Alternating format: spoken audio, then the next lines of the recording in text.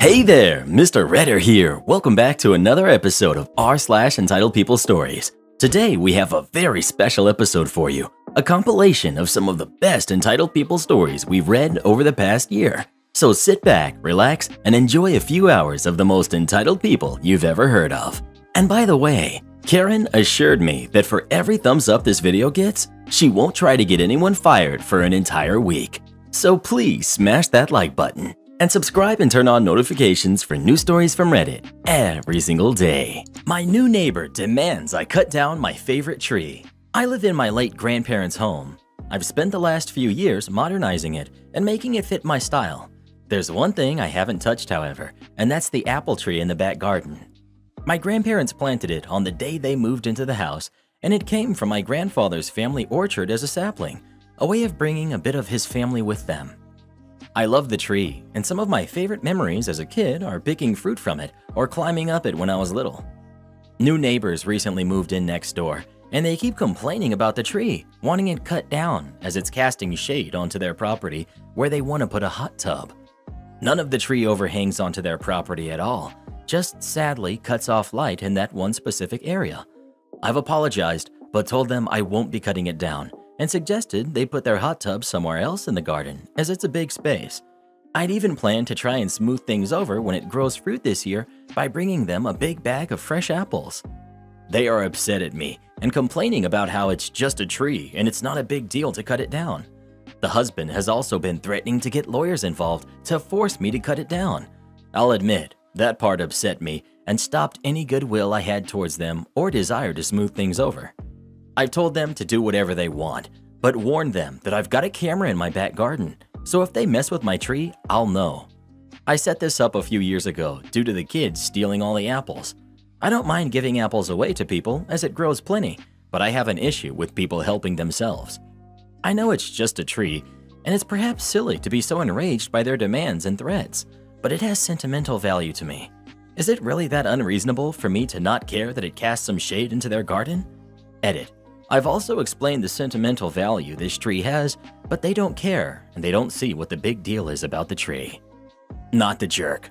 That's a part of your property that you love and cherish, and they knew the tree was there when they moved in, so clearly it wasn't a deal breaker for them. You can't always be a people pleaser. Protect your peace and protect your tree. That's what I was going to say. They knew it was there when they bought the house. Also, a lawyer can't do crap. It's your property. It's not even overhanging on theirs. I sat on a local committee, similar to an HOA, and had to look at shadowing diagrams for building approvals. Single trees were not considered at all in shading. The only time it could count is if it were creating a wall-like hedge. They're not going to have a case here, but these seem like people who will cut it down themselves and try to ignore the consequences. Not the jerk at all. I'd watch out for these people. It takes pushy people to move into a neighborhood and go to the house of someone who has lived there for years and demand that that person cut down an apple tree grown from a family orchard. OP. Yeah, I felt the same and I was worried they might try something when I'm not at home, which is why I warned them of the camera I set up so they know that it won't go unnoticed. If possible, cut a clone from Grandpa's tree, or actually cut a couple clones from it just to be safe. People bold enough to threaten legal action over your tree on your property that does not overhang onto their property can't be trusted. Even with cameras rolling, I could see them having it cut down while you're at work, regardless of the consequences. Totally not the jerk. And do a little bit of reading about tree law. Yes, disputes about trees are common enough that a body of law has developed around the issue. If they damage or cut down a tree on your property without your permission, that could be a very costly mistake for them. Well, what would you do in this situation? Would you go ahead and cut down the tree for the new neighbors or not? Please let us know.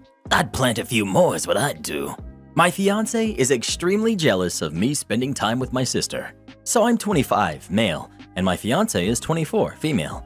She's never gotten along with my sister, who's 18. My fiance has never liked how close I am with my sister, and it's been a cause of a few arguments.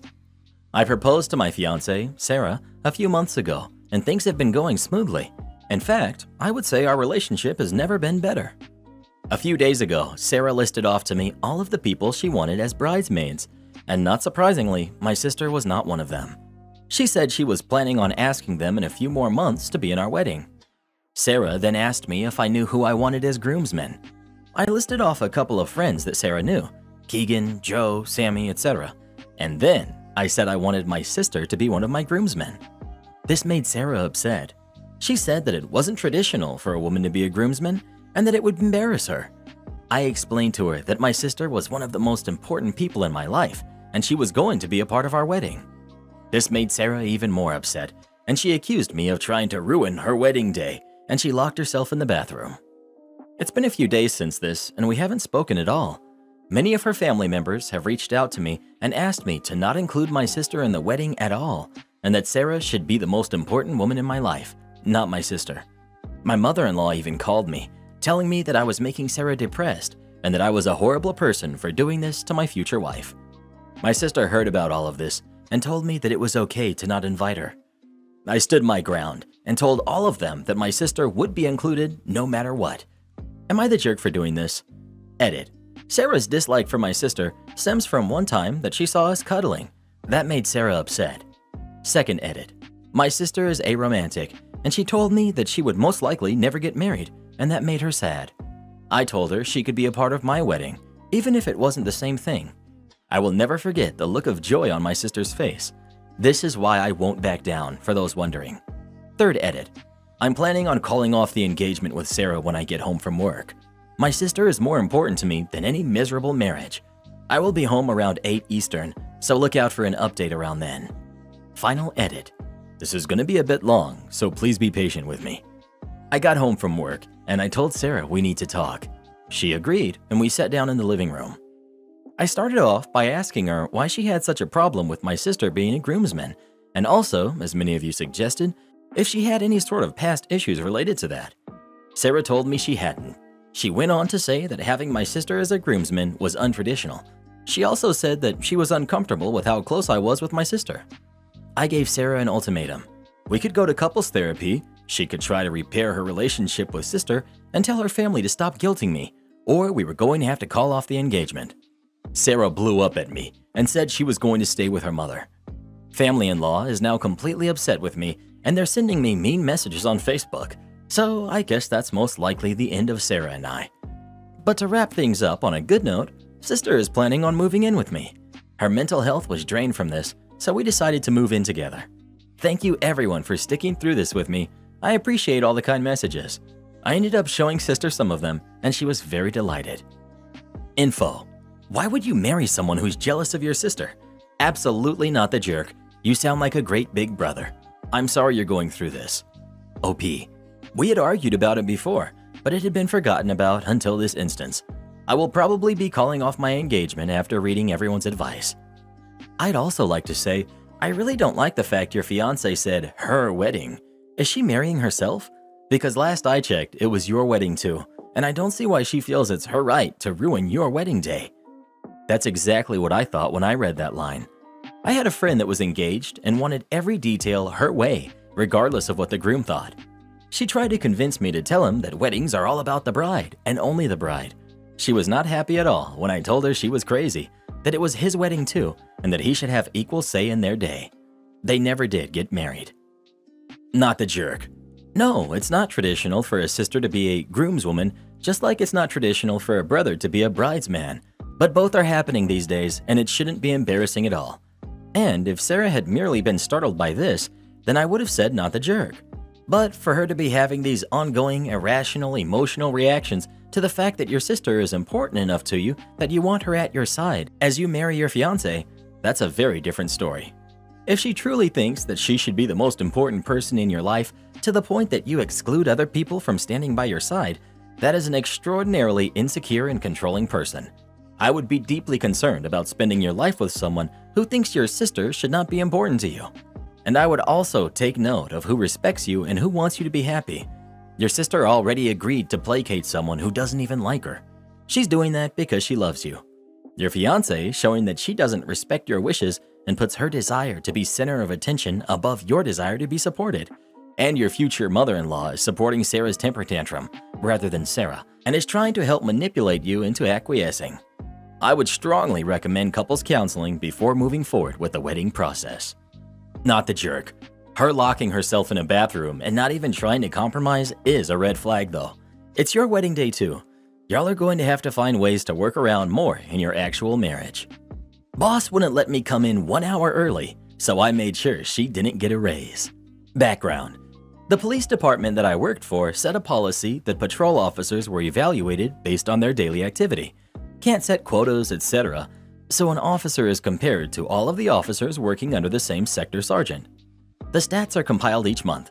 Basically, you had to be within 10% of the sector average. If your sector averaged 10 marks of activity per day, you could average as low as 9 or even as high as 11 and you were fine. Sector averages varied across geography and time of day. It was also pretty easy to stay within those parameters. My previous sector averaged 15 per day. Meet the goals and you get your yearly step increase, which is typically 5%. Miss those goals and you're a step behind your peers, forever. This also translated to your overtime rate, which was a big portion of most officers' annual income. Let's say you're at $30 an hour and getting about 500 hours of overtime each year. That's about $62,000 base pay and another $22,000 in overtime for an annual salary of $84,900. Get your 5% step increase and the same amount of work will net you $65,000 in base, $23,000 in overtime, and an annual salary of $89,000. Miss your step increase and you're still making 84,000 while your peers are making $4,000 more. This also translates to similar gains in pension, 401k, 457k, and IRA contributions, yada yada yada. I received a hardship transfer to day shift due to my son staying with me for the summer. It was only for six weeks. The hardship was that if I didn't get the transfer, I would have to find childcare during the evening, which would have cost me about $5,000 for the six weeks. My lieutenant assures me that I will be put on the 7 a.m. to 3 p.m. shift as my wife works the 4 p.m. to 12 a.m. shift. This lets us trade off with my son and everyone is happy. Enter my new day shift sergeant. The sergeant was a slug, lazy, do-nothing supervisor, drawing a paycheck and only looking out for themselves. The sergeant put me on the 8 a.m. to 4 p.m. shift. I approached her and ran through my story and advised her I was told by the lieutenants that I would be on the 7 to 3 shift. She laughed at me and said, That's what babysitters are for. Okay, fine. Enter the malicious compliance. The sector average for this sergeant was 7. You could literally get a 7 before you left the parking lot for your patrol shift. It wasn't a difficult achievement. I started getting daily activity of about 60 to 70 marks. A mark was just a tally mark next to a category of work. I was basically doing more work than the entire section combined every single day. After a week of this, she comes to me and tells me I'm doing too much work. Tells me that I'm destroying the sector average and it's going to wreck my review. She didn't mention that it also wrecks her review and all of the officers under her. I looked her dead in the eye and said, Well, Sergeant, I just have so much energy because I get to sleep an extra hour. I just have to do something with that energy or I will go crazy.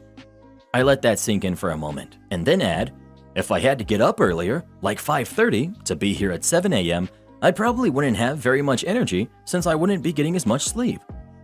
I kept working at the same pace for the rest of the month, effectively destroying the sector's average to the point where she didn't get her raise. Side note, yes, I also did over all six officers that worked under her out of their raises too. Funny thing about slug sergeants, they attract slug officers. Her sector had a terrible reputation for not being worth a darn. I didn't feel bad one bit, nor did anyone else that had to pick up their slack on the day shift. I got picked up for a special assignment after the first month and transferred to headquarters for about four years. My evaluation was based on entirely different metrics that year. I not only got my raise, but I got a promotion as well. Never mind the malicious compliance. What kind of targets are these that you can easily exceed them by 1000%? Talking to someone counts in most departments, community interaction. That sounds like when I used to do peer support. So it would be like 1. Talking to someone about addiction 2. Taking someone to the food pantry 3. Researching side effects of meds with client 4. Hosting a support group So for a police officer it would be 1. Filing paperwork 2. Following up with detectives 3. Checking Facebook for stolen goods and known thieves 4. Maintenance on car Something like that. I'm surprised she didn't get you transferred to a nice town in the country, maybe Sanford. I hear it usually comes with a nice cottage. You're not medically qualified. I work in a prison. and working in a prison means a responsibility to ensure the well-being of inmates. As expected, this includes medical needs. Anything you would see a doctor for, the inmates would as well. The procedure would be to send a medical kite or letter to medical with concerns, symptoms, etc., and request to be seen. For a true emergency, chest pains, troubles breathing, an inmate can declare a medical emergency. This is the equivalent of calling emergency services. When the medical emergency is requested, a radio call is made with the location, nature of the emergency, and the requested type of service needed, such as a faculty medical staff, custody staff, and outside medical services. When a medical emergency, or code, is called, the facility is locked down, meaning no movement for the inmates. Lunch being served? Sorry, you will have to wait to eat while this code is going on. Time for you to go to work? Sorry, you're going to lose some pay until this code is clear. As expected, there are incarcerated individuals that are not all that mentally stable. They will declare a medical emergency for a hurt toe or heartburn. Now, as a regular person, I'm aware that a hurt toe is not a medical emergency, so I, and many others, would advise the inmate to kite medical and request to be seen. This system seemed to work for a long time until the administration began to receive complaints from the inmates that staff were ignoring the request to declare medical emergencies. You are not medically trained, was the answer we received when we tried to explain the reason for ignoring medical emergencies. Do your job and declare the medical emergencies. Message received loud and clear. Over the next week, medical emergencies went from one a day to three to four a day. Inmate had a stub toe? Medical emergency. Couldn't go to the bathroom? Medical emergency. They had an itch? Medical emergency. You get the point. The facility was paralyzed. Medical was mad because they had to respond to every call. Food services were mad because a meal that took an hour to serve was now two to three hours. The inmates were mad because their yard and gym time was affected. A week later to the day, an email directive was received to stop declaring medical emergencies and to use our judgment. A few staff members kept it going for another week until it faded out. There was no sorry for the inconvenience or you were right, but that email was so satisfying to receive. Am I the jerk for not giving up my seat on the bus to a pregnant woman? A couple of months ago, I, 18 female, got into an accident where I was walking across the road and got hit by a car that was way over the speed limit. My right knee and leg basically took most of the impact. The car stopped and called an ambulance and left a phone number, and we later on settled it, and I got quite a big sum of money with help of my parents. A bone in my leg was broken, and my kneecap was basically fractured. Fast forward to now. My leg has been fine, as long as I'm not walking for too long, but my knee still hurts quite a bit, which results in me walking with a cane at 18 years old. I am a bit embarrassed by it, but I can't do much about it, so I just deal with it. Yesterday, after school, I got on the bus to go home. My knee had been bothering me all day, and I was happy to go home. Once I got on the bus, I took a seat as one does. A couple of stops later, a pregnant woman entered, and she looked around to see if there was a spot for her to sit, which there wasn't. I was one of the younger people, probably not the youngest though, on the bus, and therefore she decided that I was the perfect candidate to give up my seat. So she walked over and basically told me that I had to get up so she could sit down. She didn't ask me, she told me. So I tried to explain in a soft voice, not to attract much attention, but I have social anxiety. That I have a knee injury and that it's hard for me to keep my balance in the bus while standing and that it was hurting a lot. Well, this lady started yelling at me saying that I was just making excuses and that she didn't believe me. So I showed her my knee, and I showed her that I had scars. I admit that my scars don't exactly look pretty or are nicely healed or anything, but I had no interest in continuing this discussion. I made sure that no one else could see. The lady didn't know what to say, and she just kept on sulking and went to someone else to get them to give up their seat. I thought that was that, but suddenly a person sitting behind me found it necessary to weigh in on the situation by saying that I was way out of line by showing my scars and that I embarrassed the woman and that I could have easily stood up and just dealt with it for the remainder of my route. So, am I the jerk? Not the jerk. You're legitimately disabled and in need of a seat. If the person behind you was so supportive of the pregnant woman's need to sit down, then they should have offered their seat instead of trying to bully you into doing so. Also, giving up seats for pregnant people is a voluntary courtesy not something a pregnant person simply gets to demand of whomever they choose. Why didn't that smug, judgmental jerk sitting directly behind you, who told you that you were out of line, give up their seat for her? They clearly heard and saw the entire exchange and didn't bother to volunteer. Edit. Just to clarify, I was not referring to priority seating. That exists where I live too. I'm talking about the fact that there was already a person with a disability sitting there, and pregnancy does not simply give someone universal power to oust anyone they choose from any seat they choose. As another young cane user due to a broken bone, not the jerk. A lot of people seem dumbfounded with how to respond when I point out my scar because it just doesn't dawn on them that there's a material reason I use a cane. I've learned to just say, I'm physically disabled. I cannot stand right now. If that doesn't work, I just ignore them and let them embarrass themselves. Why, yes, I will walk out. About five years ago, I was working for a restaurant in a very busy area with an upstairs that led into a rooftop patio. The upstairs dining was constantly being used by the managers as a landing spot.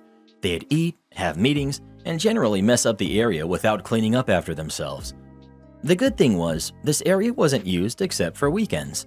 However, management would decide randomly to open the patio and upstairs, and then have to decide who would work those areas from the already strained staff downstairs. Tips were less because the kitchen and bar were on the first floor, orders took forever, and sometimes tickets didn't print. Everyone hated working it. The elevator took literally five minutes to move, so everything was done by the small spiral staircase. In addition to the dining area being a mess, the back of house was trashed upstairs from other servers as it was our overstock room. Because of all this, those chosen to work upstairs had about two hours worth of cleaning, setting up, transferring needed items from downstairs, setting up chairs and tables. Then take it all down again to close, less time serving and making even less tips. I told my manager that I would work up there if she made sure that things were left how they were the night before, clean, and managers cleaned up after themselves, and told her I'd complain loudly if things weren't clean. One day I came, and surprise, they're opening the dining room and patio, so I've been assigned. I worked a day job and got there around 5 p.m., which is when it starts to get a bit busy. I find everything trashed and tell my manager that it's unacceptable to expect me to start taking guests at 5:30 p.m. with no help setting up. My manager yells at me, "You're always complaining. Just stop." I wasn't a big confrontational person at the time, so I just walked away. She came to find me five minutes later and tells me, If you don't get rid of your attitude, you can just leave. As privileged as I was to have a nice day job, I was working this side job to have some fun money. So I smiled and said, Sure thing. Took my apron off, clocked out, and had a great night off. The look on her face was priceless. They didn't open upstairs that night. Remember, kids, people quit bad managers. Serving is serving, but management of the place can make it or break it. Am I the jerk for not showing my ex proof that he wasn't my child's father until after he gave me his house? Okay, I know the title makes me look bad, but read the story for context first. I, 27 female, used to be in a long-term relationship with Tom, 34 male.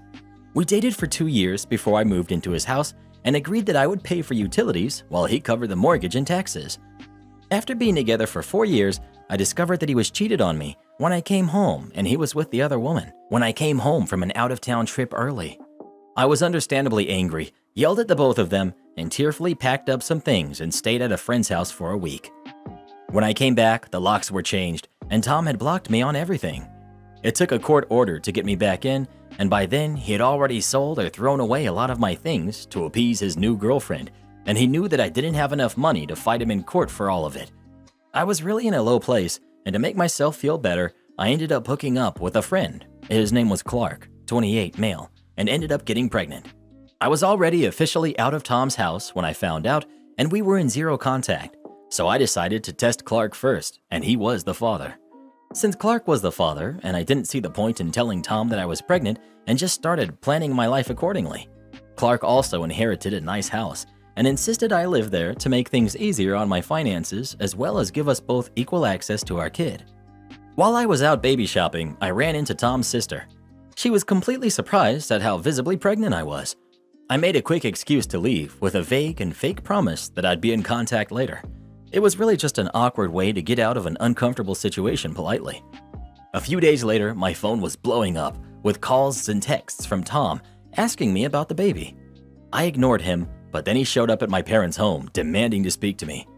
Tom was convinced that I was pregnant with his kid and was going to blindside him with a court order for child support after the baby was born out of spite. It would also align with his planned promotion, and he didn't want to be perceived as a deadbeat parent. The company he works at is big on morality. I told Tom to leave me and my family alone, but he wanted me to sign an NDA about anything that would happen between us in family court to protect his reputation. I told him that he wasn't the father, but he thought that I was lying now to blindside him later and offered me his house. He was going to get a new one to pay me for my silence. I agreed, and when he was fully moved out, I mailed him the test results when Clark was tested. Tom now thinks that I was being a manipulative jerk, but it wasn't my fault he didn't believe me when I initially said he wasn't the father. So, am I the jerk? Edit. Since there seems to be some confusion, even though I already wrote it, I'll say it again. I told Tom he wasn't the father after he started harassing my family, but he chose not to believe me. 2. Yes, my parents knew Clark was the father and even told Tom too. Tom just didn't believe us. Edit 3. Just because I keep seeing the same questions and comments. 1. Yes, I officially own the house. He signed the title over to me the same day I signed the NDA.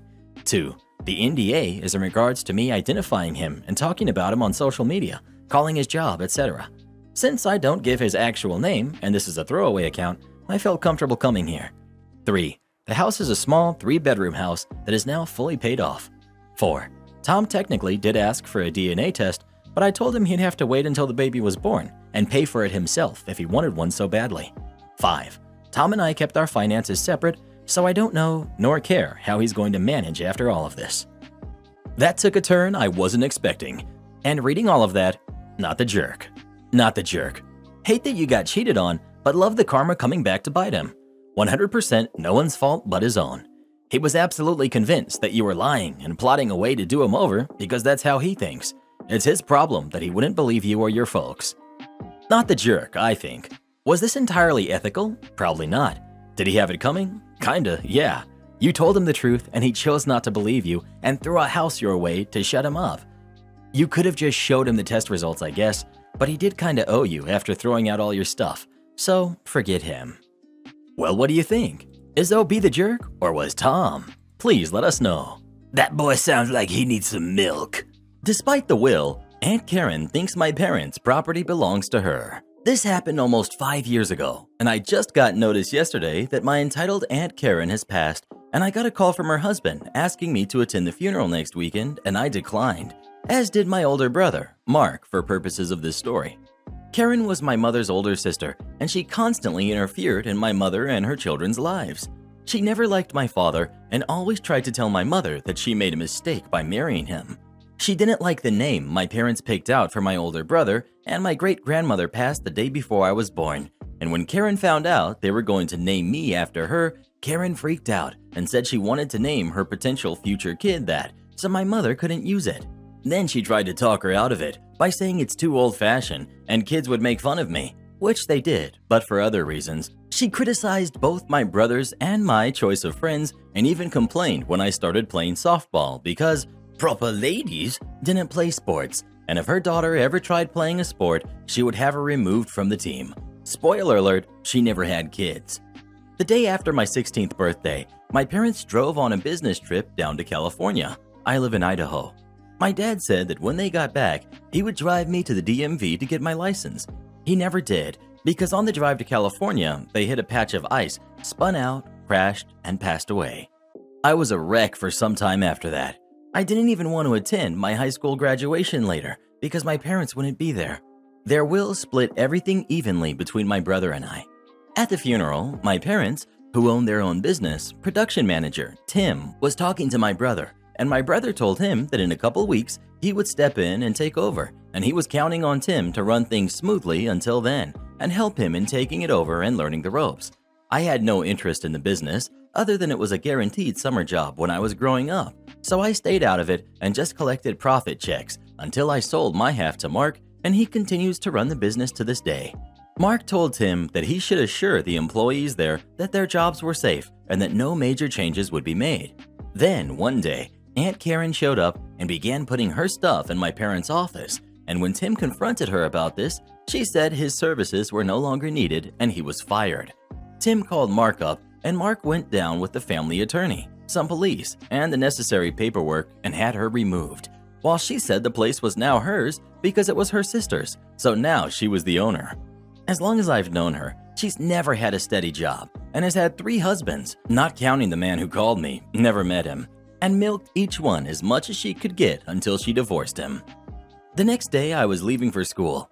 I walked, it was fairly close, about 10 minutes, and saw her car and a moving van parked outside. She said she was moving into her house and then said in a sickly sweet voice that for a reasonable rent, she would continue to allow me to stay there until I graduated high school.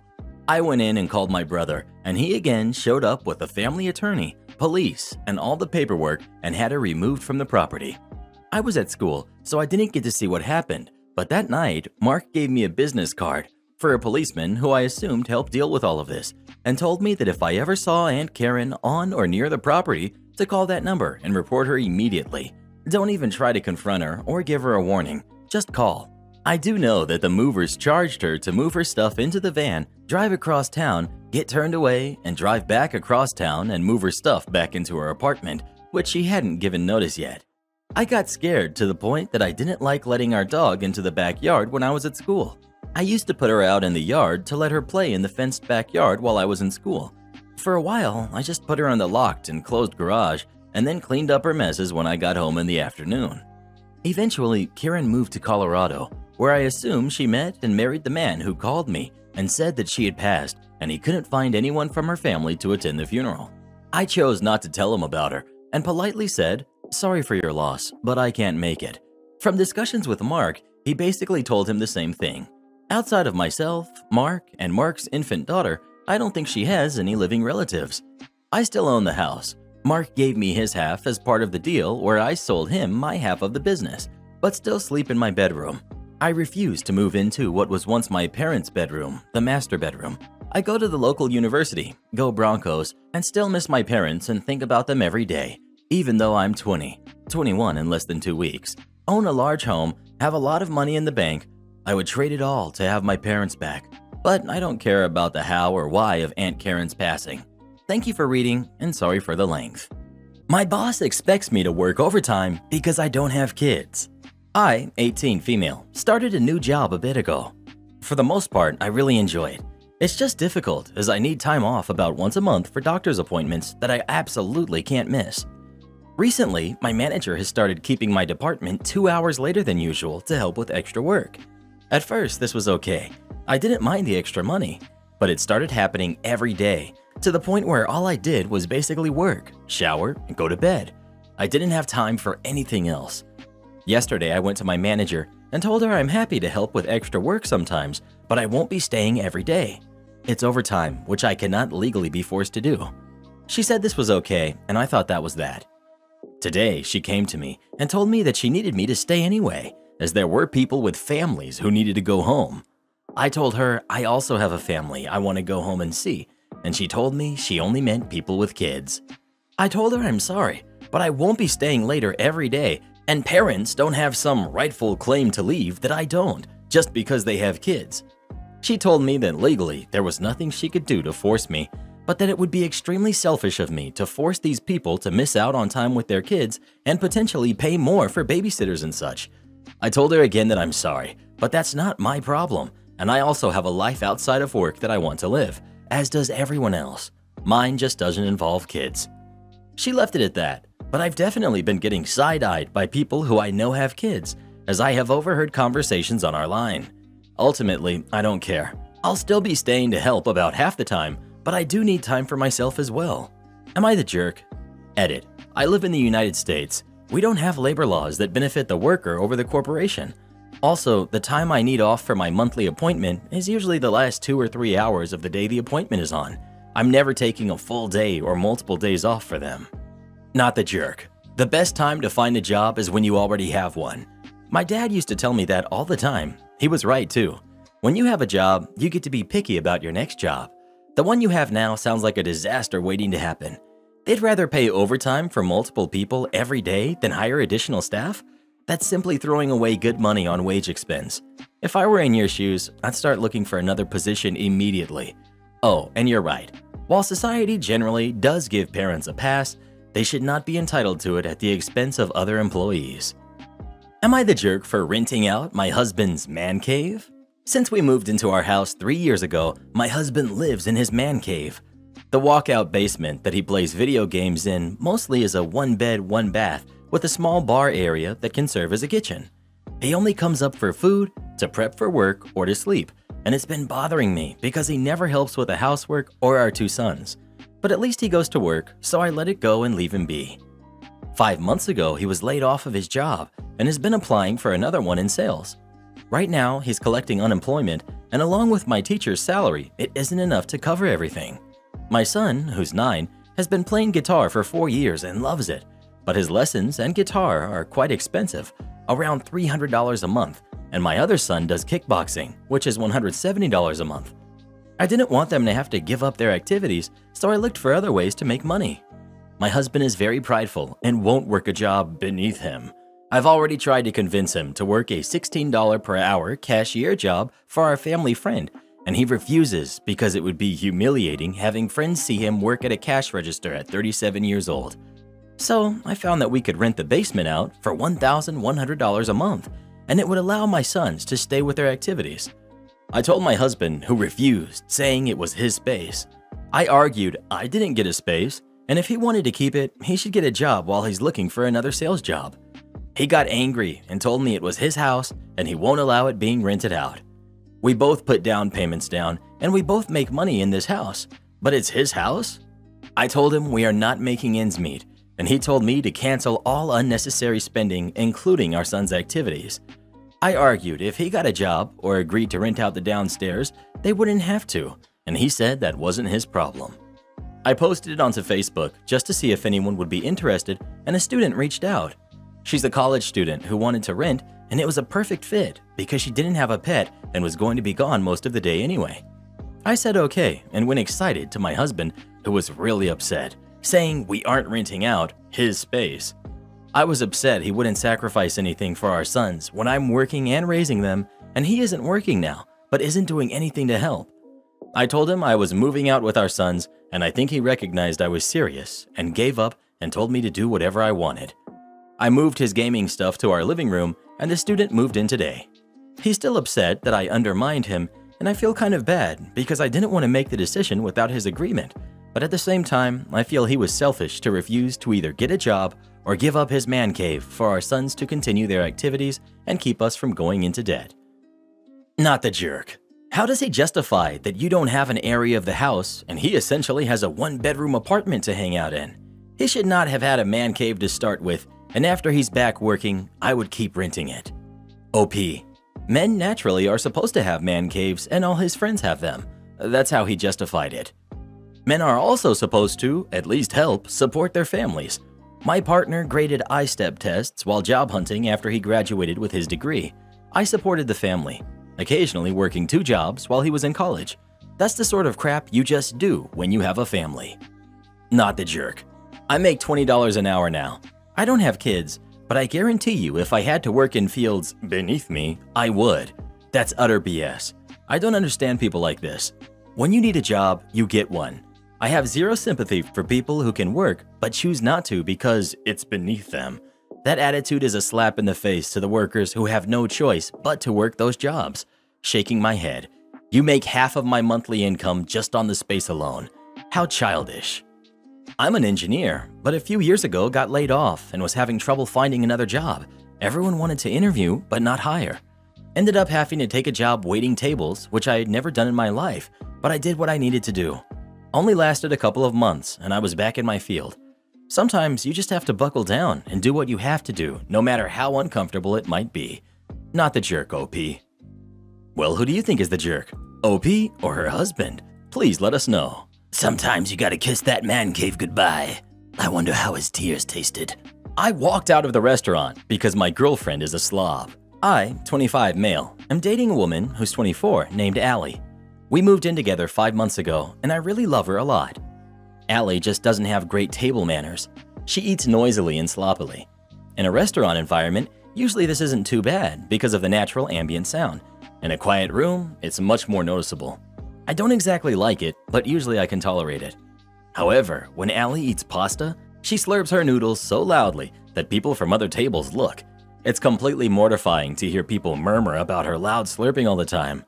I know this might be normal in some cultures, but where I'm from in the US, it looks really uncultured and bothers some people who are more sensitive to sounds. I've tried to teach her how to use a spoon to spin the pasta into a ball. Nope, she doesn't want to. I've tried to ask her to take smaller bites. Nope, that's how she eats pasta, and that's how she'll always eat pasta. We've been to a local Italian restaurant half a dozen times, and each time but one, in a basically empty restaurant, she humiliated me with her loud slurpy eating. I know I shouldn't care what other people think, but I agree with the patrons. It's disgusting. People are trying to enjoy a meal.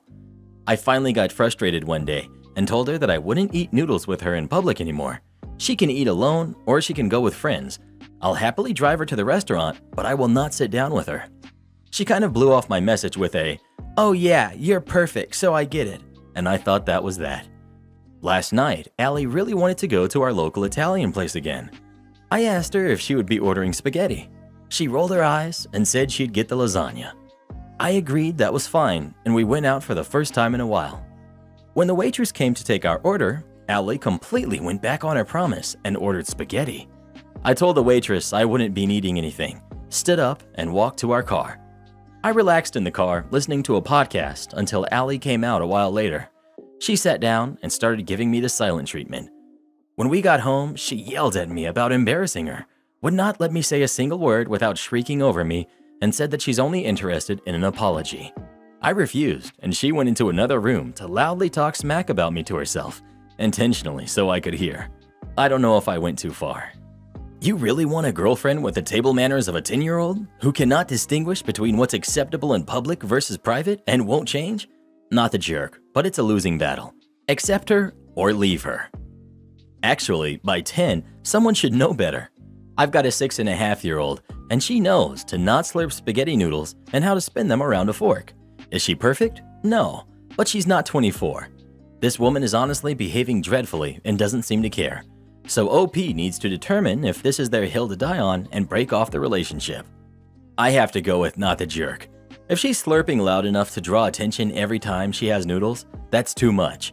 And it's not like you're telling her that she's not allowed to eat noodles, just not at a restaurant with you. She can make spaghetti at home. Slurping is more acceptable in many Asian cultures, Take her to a local Japanese or Chinese place and she won't seem so out of place. Entitled mom insists I give her kid my computer. I'm a regular train rider, or at least I was when I was in high school. I would take the train from my hometown to the city my grandparents live in every long weekend or holiday, so I had my train routine down to a T. Delays were common, but that was part of the experience. On long rides like this, and noticing kids get restless, I would let them watch a movie or draw on the Paint app with my computer. This ride was different though. Entitled Mom was another semi-regular and had a habit of verbally going off on the attendants. Entitled Mom sat across from me this ride, and the entire time her son was being such a disruption, and I just tried my best to ignore them since the Entitled Mom did nothing to settle him down. Like I said, I'd usually offer to help out by providing a distraction, but frankly, the kid was destructive and I didn't trust them.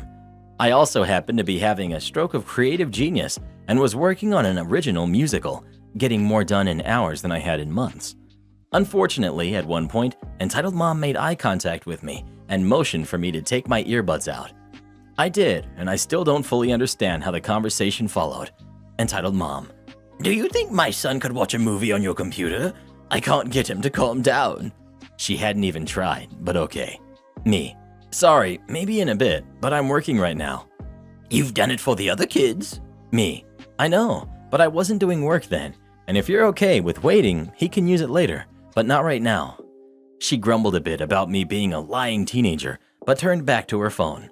After a while, the brat came to me asking if he could use it, and that entitled mom had said he could.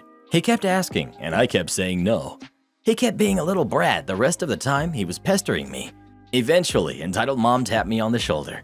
Me. Yes? He needs to use your computer. I cannot deal with him anymore. Me. Honestly, I don't want to let him use it at all now. You guys keep bothering me and distracting me from my work. It's summer. You don't have any work. Me. You don't know that. What do you think I've been doing since you guys got on? Working. I'm doing something important and you won't back off. I'll tell you if he can use it when I'm ready to let him. You can do it later.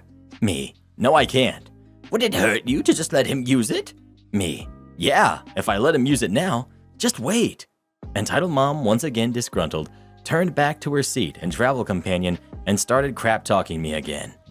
Eventually, writer's block hit me again, and I shut down my writing programs and moved my bag to under my seat and offered to let the son watch a movie.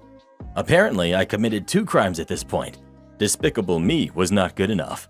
Entitled Mom insisted that her son bring my computer into their seating area, and that was when my patience was through. Entitled Mom, What do you think you're doing? Me, letting him watch a movie. The brat, I don't want to watch Despicable Me.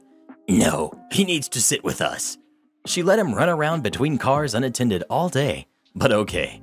Me, I mean, you're right there. You can still watch him, and I only have a few kids' movies, and I thought this was better than Frozen or The Little Mermaid. I have a younger sister. She likes princesses.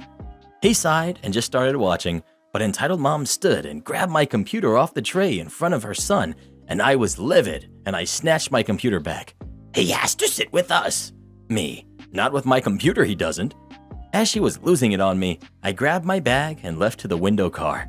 The amount of light gave me a headache, but I just vented to the attendant, who I knew well, and they vented back to me about her crappy behavior. He gave me a free hot chocolate, and I tipped him $40 because I only had to deal with her for half her journey. He would have to deal with her for the rest of the long, long day. Apparently, she got banned a few months later for hitting one of the attendants after an 8 hour delay. Slowest mile of my life. Growing up, my siblings and I went to a private Baptist school. Our parents wanted to keep us from the world's evil influence.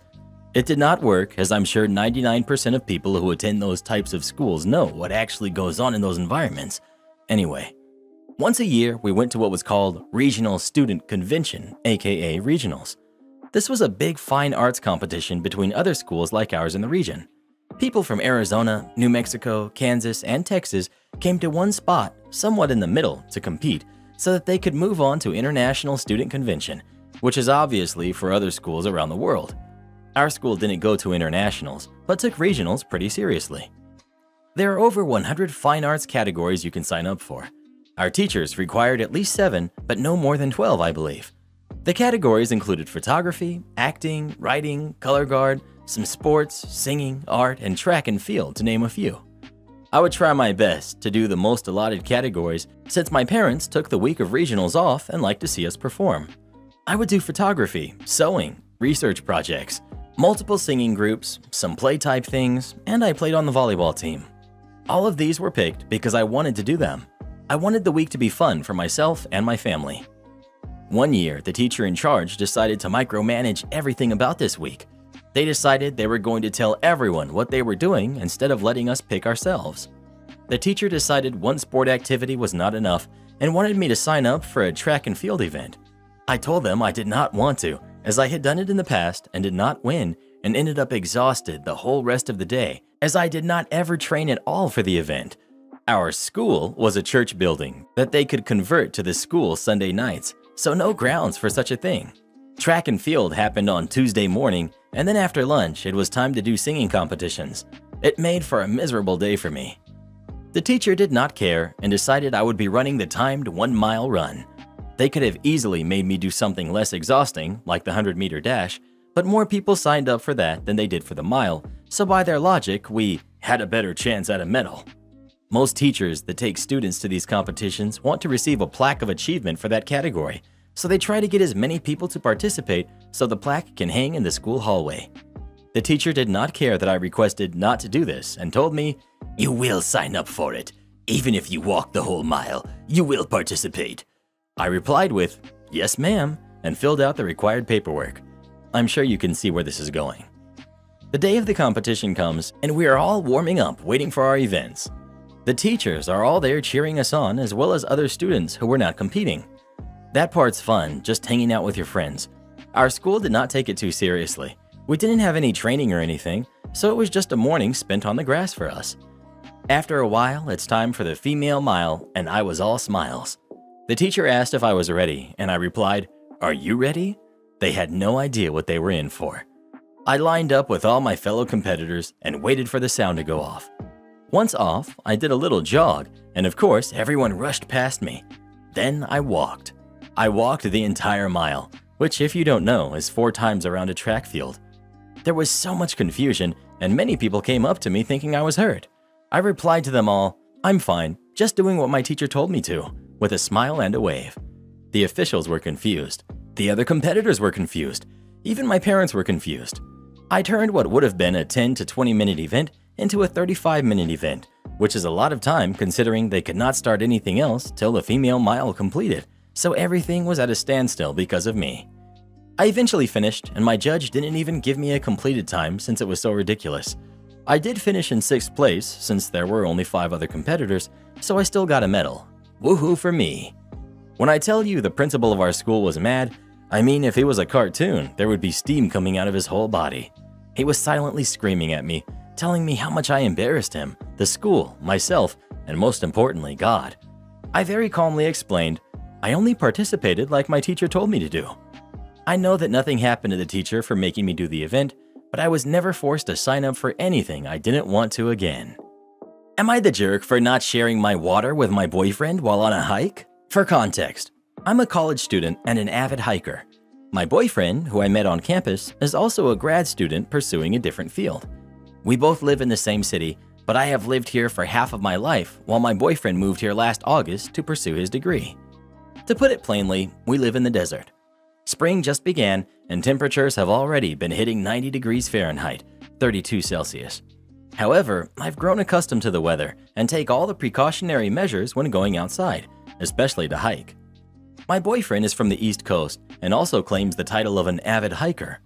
He caught the tail end of the summer and admitted to spending the majority of that time either at his apartment or at school. Because he never actually hiked in the heat, I reminded him to start drinking more water to prepare for the hotter days. For some reason, my comment had struck a chord with him, and he became visibly upset. He said, I've been hiking before, and I'm a former Eagle Scout. You don't need to condescend me about drinking water. I can survive in the wild. Hurt by his comment, I never brought up the topic of water again. Yesterday, we decided to finally do a longer hike in the mountains. He had done research and wanted to do one of the more popular hikes in the city. Now, I've done this hike before. I know how grueling it can be, especially in the heat. Because of a pre-scheduled Zoom meeting, I decided to meet my boyfriend at the trailhead. I arrived equipped with my day pack, 3-liter bladder, and some water bottles for good measure. He only had one 24-ounce water bottle and nothing else. Knowing how sensitive he is about water, I decide to not say anything. About three hours in, I notice his water bottle is empty. Since we aren't even at the peak, I spare the extra water bottles that I packed. Once we finally make it to the peak, I realize that the water bottles I gave him are empty as well. I think nothing of it and think that he's just gonna have to suffer in silence. The hike down is about two hours, and I'm down to one liter of water left in my bladder. I know that this is enough to keep me hydrated and comfortable for the descent. But as soon as we set off, I feel the nozzle of the bladder get caught on something. Thinking it was getting stuck on fauna or a cactus, I turn around, and to my surprise, I find my boyfriend trying to steal sips of my water. I'm instantly angry that he would try and steal my water after giving me so much grief about it. I snatch the nozzle out of his hand and retort, I thought Eagle Scouts could survive in the wild. He became angry and hiked ahead. By the time I got back to the trailhead, he had driven off. He hasn't texted me since the incident, and now I can't help but wonder if I'm the jerk. Not the jerk. You shared your water with him. You gave him your water bottles. And based on your account, he didn't even ask for more water. He just tried to take it, presumably so he wouldn't have to directly admit that you had been right and he had been wrong about how much water is necessary for these trips. Right now, he's having a temper tantrum and sulking. Don't let that mislead you into thinking that you did anything wrong. He's upset because you were right and you pointed out his arrogance in a way he could not refute. Drop this man. Seriously, so childish of him. Not the jerk. I don't get the endangering his life BS people keep going on about. He drank 24 ounces plus 4 water bottles that were like 16 ounces each. He was not even close to dangerously dehydrated, just thirsty, which was entirely his fault. He failed to prepare and got upset with OP when she tried to tell him. He's not her kid, not her job to keep pestering him and making sure he has his crap together. And his life was never in danger. This could not have hurt him. And the snarky comment was fair. He tried to steal the rest of her water after drinking all her extra and boasting about how he could handle the hike without her advice. Am I the jerk for refusing to wait for my sisters to arrive, so they ended up missing the trip to Japan? In the time before lockdown, I, 26 female, planned a trip to Japan with my best friend, Kathy, and my two sisters, Rose and Amber. The issue came when I said, Well, due to the airport being two hours away and traffic being hard to judge, I want to leave at 6 a.m. Kathy agreed with me. Rose and Amber said, No way. They wanted to leave at 9 a.m., get there at 11 a.m. for our 1 p.m. flight. I said we should just take two cars. This caused another argument because they wanted to ride together. I said this was not a discussion, either ride with us or take another car. They said they would ride with us. I said we leave at 6 a.m., so you have to be there ready to go. 6:10 and no sign of my sisters, so I call them. No answer. I try again. No answer. So we left. I get a text at 6:45 saying, "We overslept. We are on our way." I texted them that we had left. We were headed to the airport. Amber asked if I could turn around. I said, "We are halfway to the airport." No. They ended up saying they would meet us there, and I thought nothing of it. We parked, went through TSA, got to the gate, and when I checked my phone again, Amber said, We need you to come back. Our car isn't starting. Dad is already at work and cannot get back in time. I texted them that we were already at the gate, waiting to board in an hour. They said they could not afford the taxi to the airport and would get a later flight. They ended up canceling and staying home because there were no open flights for a few days. This has since caused a huge rift in our relationship. They feel like I was too harsh and should have waited until 7 a.m. for them to arrive. I told them I had been serious the whole time, had not said I would wait, and I was not going to miss out on a trip because they didn't want to wake up early. Am I the jerk? Not the jerk.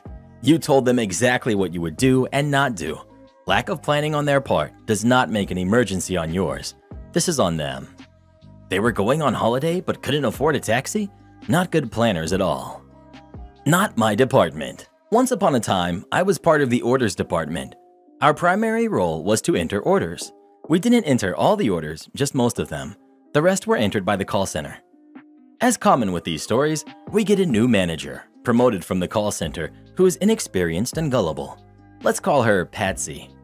The call center manager, Weasel, sees his opportunity, swoops in, and fast talks Patsy into making the orders department responsible for all orders with a, these orders aren't really the call center's department.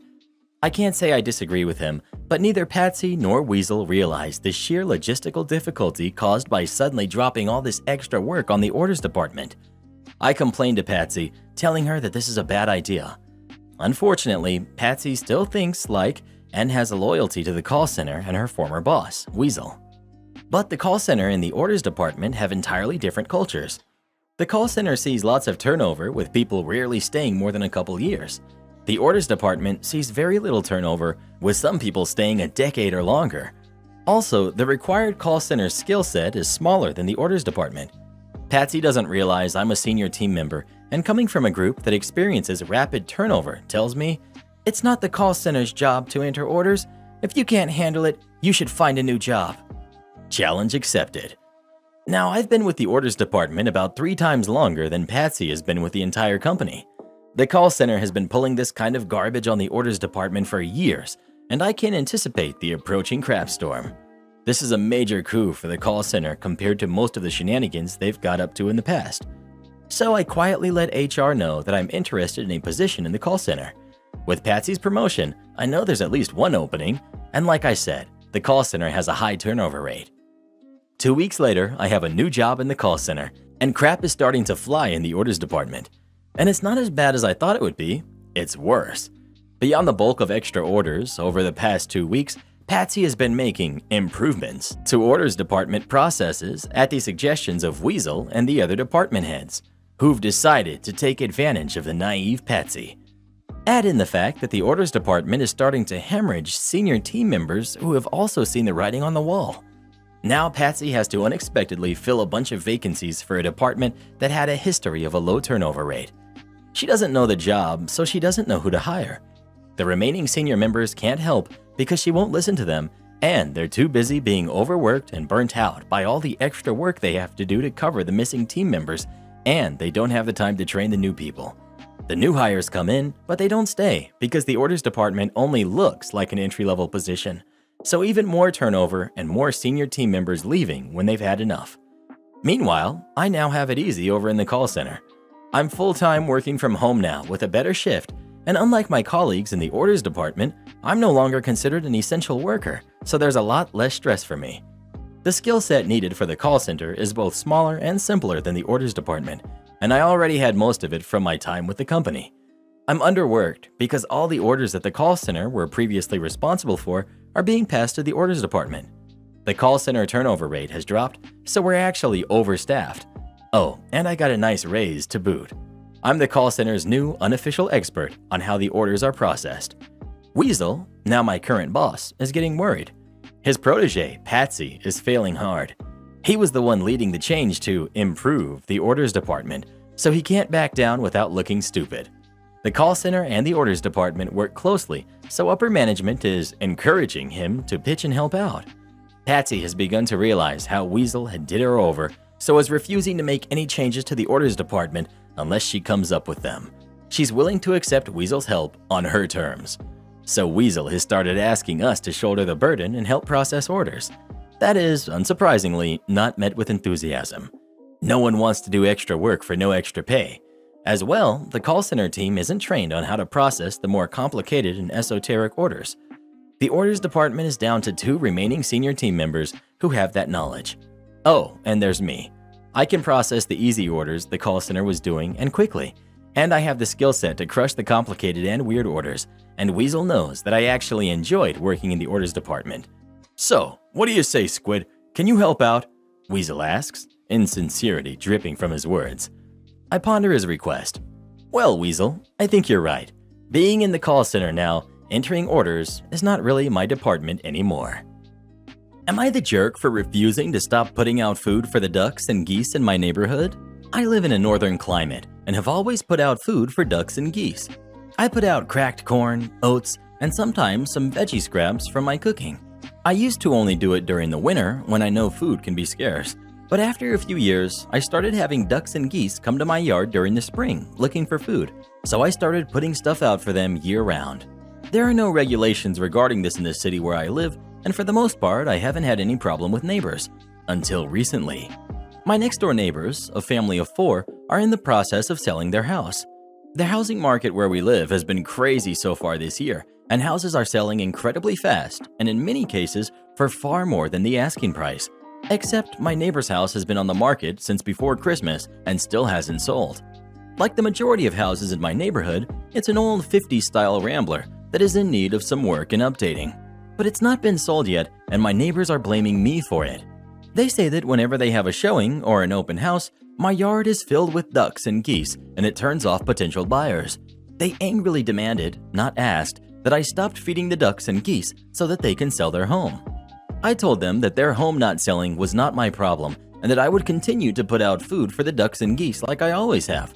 They threatened to call the city and the police, and I told them to go ahead. Sure enough, I got a visit from the city and they asked some questions about the type of food I put out for the birds and asked me to prove that I was indeed putting out food suitable for them. They left satisfied with my answers and told me that I was doing nothing wrong according to the city regulations. Last weekend, my neighbors had another open house, and as usual, my yard had a few ducks and geese in it. Less than usual, as there are plenty of other food options available for them now, but maybe a dozen total birds.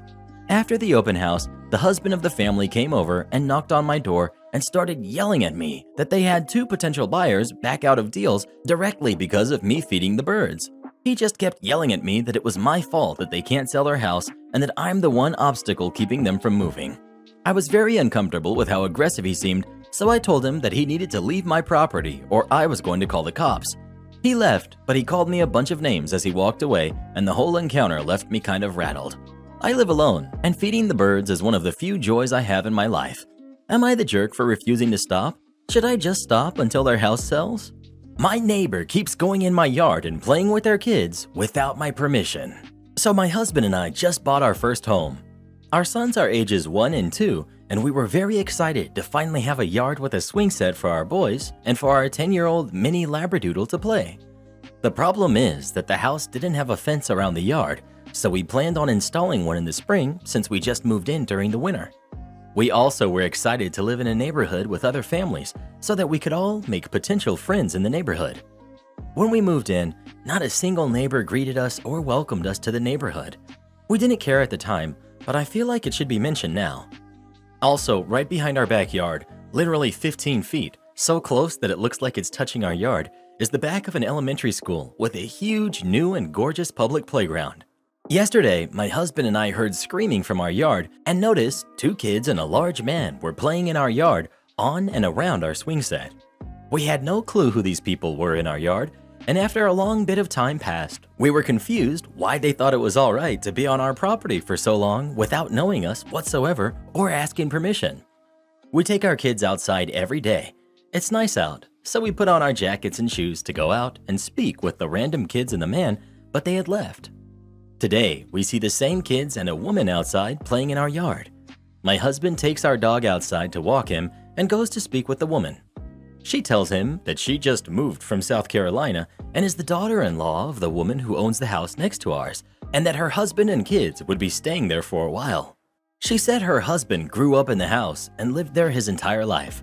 She says that her husband asked the previous owners of our house if they could play in our yard, and they told them that they could. In my head, I'm like, well, why does that matter if you knew that there are new owners here, which they do? My husband explains politely that we do not feel comfortable with them playing in our yard because they did so without asking us first, and because if anything happens to them while they're on our property, we would be liable in any type of lawsuit. My father is a lawyer, so we were taught all the laws around homeowning. My husband came inside after saying goodbye, and she left with her kids soon after. Next, her husband arrives home from work while my husband is going to the store. He immediately takes his kids into our backyard and plays the entire time my husband is gone. My husband comes home from the store and the neighbors leave our yard. My husband goes to take the trash out and the neighbors come back into our yard to our swing set with a large dog on a leash. My husband, not expecting another confrontation just taking out the trash in his yard, walks up to the neighbor father and again explains that we do not feel comfortable with them playing on our property, yada yada yada. My husband also says twice in the conversation that the giant public playground is literally right behind our homes. The man says that his son is autistic as if this is an excuse of why he takes him into our yard and not the public playground. In my head, I'm thinking, well, sir, my son is autistic too and loves water, like is totally obsessed with it. But my husband and I do not take him into our neighbors especially someone we have never met or taken the time to say hello to, pools without asking permission. My husband tells him that our son is autistic too, and it doesn't mean they can come with their giant dog on our property without permission. My husband comes inside, thinking he got his point across and that the man would leave. But no, our neighbors decided after the second conversation to spend the next four hours in our backyard, going in and out of their house, then back into our yard as if it was their own. My husband and I do not know what to do in this situation, so humbly ask the opinion of the public. Honestly, if our neighbors would have introduced themselves and asked if they could play in our yard from the start, everything would have been a lot different. The reason my husband and I are so upset is because they played in our yard for long periods of time without knowing us or asking first. Then, after we nicely said we feel uncomfortable, they acted entitled to our property and playset, basically just ignored our existence, brought their huge scary looking dog with them, and seemed to think that we were outrageously in the wrong for not thinking it was okay for them to hang out in our yard without asking. We did not go out a third time, honestly, because we do not know what the right thing to do here is. I know that legally they're in the wrong. They are trespassing on our property and should not be doing so. I personally would feel so weird as a mother taking my kids into someone else's yard to play without asking. My head would be racing because it would feel like a crime because technically it is. But if these neighbors are so insistent that what they did was perfectly fine, and that my husband and I are the jerks basically, then is there some human decency, right versus wrong, common knowledge that I am unequipped with? Is it okay to play with your kids in your neighbor's yard, on your neighbor's playset, if you have never met your neighbor and made zero attempt of doing so or asking permission to use their property? Update. I just went to walk my dog, and the neighbor was in my yard again with his kids and his big scary dog. His dog immediately started barking and growling towards my dog as my dog did his business. I thought to myself, why should my dog, who is still getting used to his new yard, have a stranger and his giant dog, four times the size of mine, just chilling in our yard? So I put my phone on record in my pocket and walked towards them with my dog. The entire time, his dog was freaking out as we approached them, so I stayed about 10 feet away and said, Hi. The man didn't look at me. He just held both his hands on his dog and looked annoyed that I was interrupting them in my backyard. I said my name and that I was the homeowner, and he still did not look at me. I asked nicely if they would stop trespassing in our yard. The man just said, Yeah. So I said, Thank you, we would really appreciate it.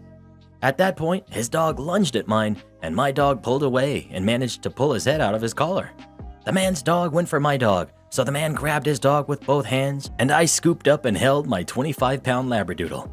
I said that this was one of the many reasons why they should not be trespassing in our yard with their giant dog. The man said, I heard you the first time, and I walked towards my home to get my dog inside. At this point, I'm highly regretting taking him out there to begin with. Dog mom fail. But then again, it is my own backyard. I'm also thinking, dude, you clearly didn't hear us the first time because this is the third time. Once I got inside, I looked out the window and they left my yard. I have the recording of our conversation just in case anything else happens. Call your local police station and ask what the process there is to have them officially trespassed. At a previous home, I had to give the man a verbal, you are not welcome here. After that, he could be ticketed and arrested. You and your husband need to stop being so passive. You don't have to worry about upsetting the neighborhood because they ignore you and your family but love your property. Place serious no trespassing signs in your yard. Call your local law enforcement agency for your area and discuss the situation with them. Create a timeline from the first incident to the last with details. Take pics with cell phone until you have security cameras installed. Know where your offending neighbors live, so future trespassing warrants can be issued if it comes to that. I would also talk to your local animal control agency and make an incident when the other dog tried to attack your dog. I would draw a very hard line in the sand. Well, who do you think is the jerk? OP or their neighbor? Please let us know. If you let entitled people walk all over you, they'll never stop. My daughter, who's 25, is obsessed with a blanket. I finally gave her a piece of my mind. I'll try and keep this short. I, 50, have a daughter who's 25. Recently, her boyfriend, who's 27, knitted her a blanket with her name knitted on it, and it doesn't look the best. But for some reason, my daughter loves it, and whenever I'm visiting her apartment, she almost always has it on her when she's sitting on her couch or bed. It does get really cold where we live, but the extent to which she likes this blanket is odd, as if she's a kid who's obsessed with a stuffed animal or a toy. I recently asked her about it, and she said she likes it because her boyfriend made it, and it reminds her of him since they don't live together yet, and is extremely large on her, so it's comfortable. I told her that she was acting like a kid. She said that she wasn't. I repeated that she was definitely acting like a kid, and that I found it weird. She told me she had no idea why I would find it weird and told me to leave her alone. I told her she was being infantilized, and it was disgusting. She said that she would kick me out of her apartment if I didn't stop arguing with her, so I remained quiet. I'm starting to think I may be the jerk for accusing her and her boyfriend of such things. Am I the jerk? You're the jerk. Normally, I would offer at least a brief explanation as to why I voted that way, but you just upset me. I've seen a lot of crap on this subreddit over the past few days since I started looking at it, but this is by far the craziest that I've seen. You really want a problem with your daughter over liking something her boyfriend made for her? Really? It doesn't matter that it doesn't look like a masterpiece. He made it for her, and it's special to her. It must be really sad being you. No one has ever put any effort into making you anything. That's probably for the best, because you wouldn't appreciate it anyway. Get out of here. You're the jerk. Of course you are. She's fond of a handmade gift her boyfriend gave her. There's nothing the slightest bit weird or childish about that. I'm guessing no romantic partner ever spent hours and hours making something just for you. If they had, you would understand why your daughter cherishes this blanket even though it's not the most perfect blanket ever made. It probably took weeks to make that blanket. Someone spending that much time and effort making me something is the most special thing I can imagine. I've never had a romantic partner do that for me, but family members have, and gifts like that just have a way of making you feel so completely loved and appreciated. Of course she is attached to it and wears it all the time. Not only is it extremely practical in a cold climate, it's a physical representation of how much he loves her. You're the jerk. So you can't understand why she would really like a handmade gift her boyfriend made her? Seriously? I like having a blanket on my lap when sitting down too. I find it comforting. The only one who acted like a child here is you for even being so rude of bringing it up at her own place. Well, who do you think is the jerk? OP or her daughter? Please let us know. Never tell the people of Reddit that adults don't need to snuggle up with blankies. Most of the people on there are probably snuggling up with their blankies right now. Am I the jerk for asking for normal updates from my wife? I just want to make sure she's safe. My wife and I have known each other for 20 years, dated for 7, been married for 2. We have a 16 month old daughter together and a great marriage, generally speaking. As long as we have known each other, we trust each other without exception regarding serious things or any type of serious, life altering bad decision that can happen to a married couple. We have silly, bickering type disagreements, like I think most couples do, but there's never yelling, as neither of us grew up in a home where that thing was common, and we prefer to talk about what went wrong and come to a mutual agreement as to how to keep it from happening again. Anyways, there's this one issue that has been a recurring disagreement between us that I'm wondering if I'm being unreasonable and should just let it go. Being the jerk for being frustrated when it happens, or if I'm justified in asking for it. The wife grew up in a home where, once of age, she was allowed to go out with friends, come home whenever, and her parents did not expect any updates of any kind.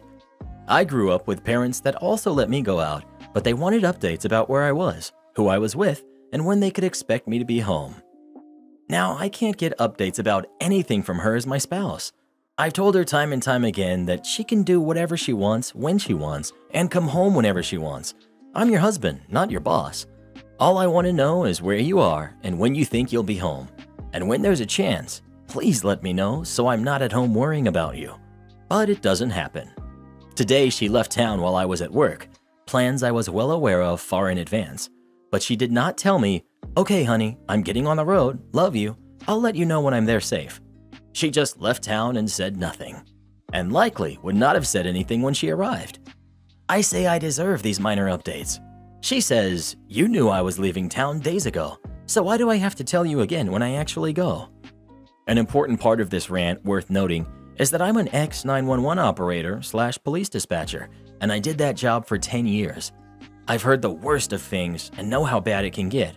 So from that, anxiety stems my desire to know she's okay. We can track each other's locations through our phones for safety reasons, and we have always been able to. But again, that's not for lack of trust, it's for safety concerns. God forbid something could happen. Short of me using it to meet her outside with the baby because she gets excited when mommy gets home, it's not something I ever check.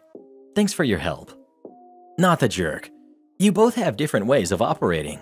She's very independent and not used to reporting to anyone you did slash do the check-in thing. I do think that it would be courteous to say, I'm leaving on the road trip, and to let you know of arrival. Don't think it is required though to advise when one is going to the grocery store type of trip.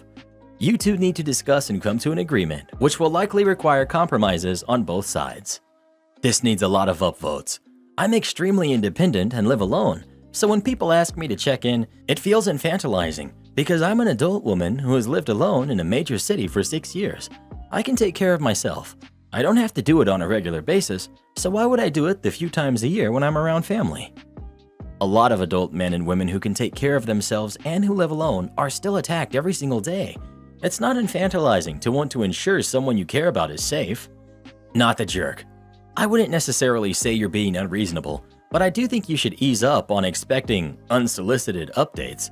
If you know she's leaving town, do you text her, hey, let me know when you leave or get there safe? I'm in a relationship with uneven habits like this, and my partner is just not wired to give that kind of feedback. If I ask after it, I almost always receive an answer though, because they're considerate. If she just ignores you, that's another story. Not the jerk. Part of marriage is learning to understand and accommodate another person's communication style and needs and what you're expecting for is well within the realm of what she should be willing to do, especially since you have a kid together. Letting the other person know where you are and when to expect you is common courtesy when you have childcare to coordinate. Obviously, she's not a monster, but she should be willing to meet you at minimum halfway there. Well, who do you think is the jerk?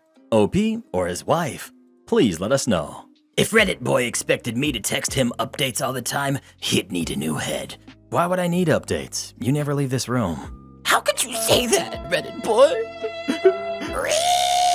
Be in the conference room at the time meetings are scheduled to start. A couple decades ago, I was working as a network engineer for a consulting company. The company owner, Kim, was the best salesperson I've ever met, could sell ice to Eskimos. She had a temper, threw a shoe at me once, but great technical knowledge and knew when she didn't need something.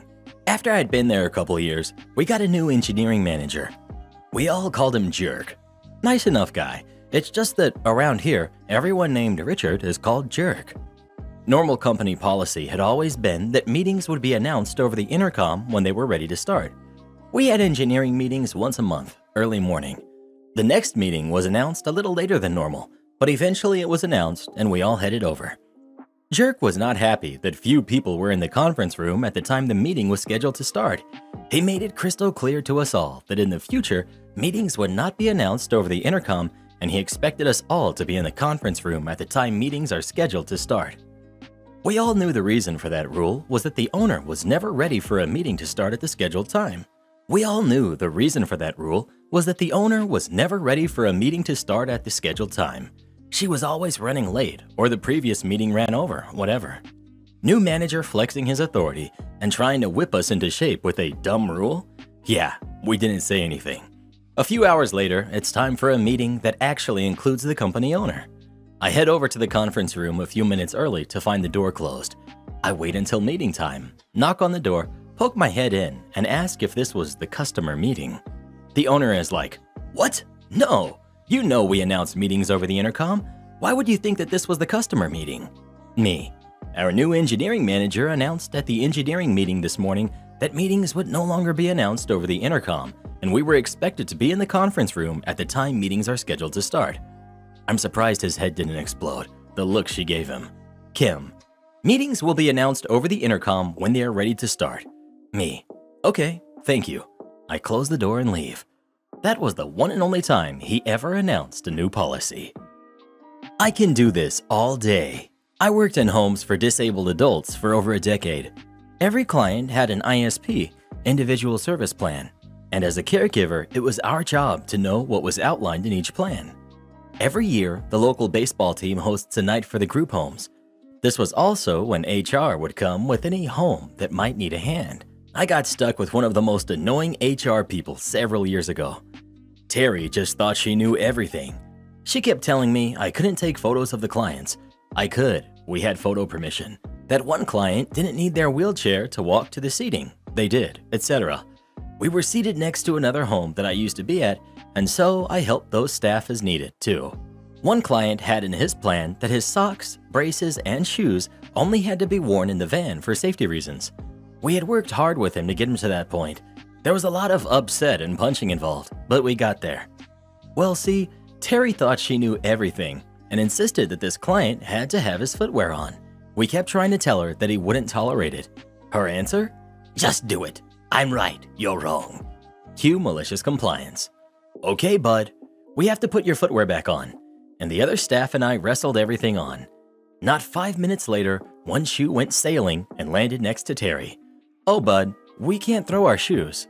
Next went the braces and the socks, which hit poor Terry in the back of the head.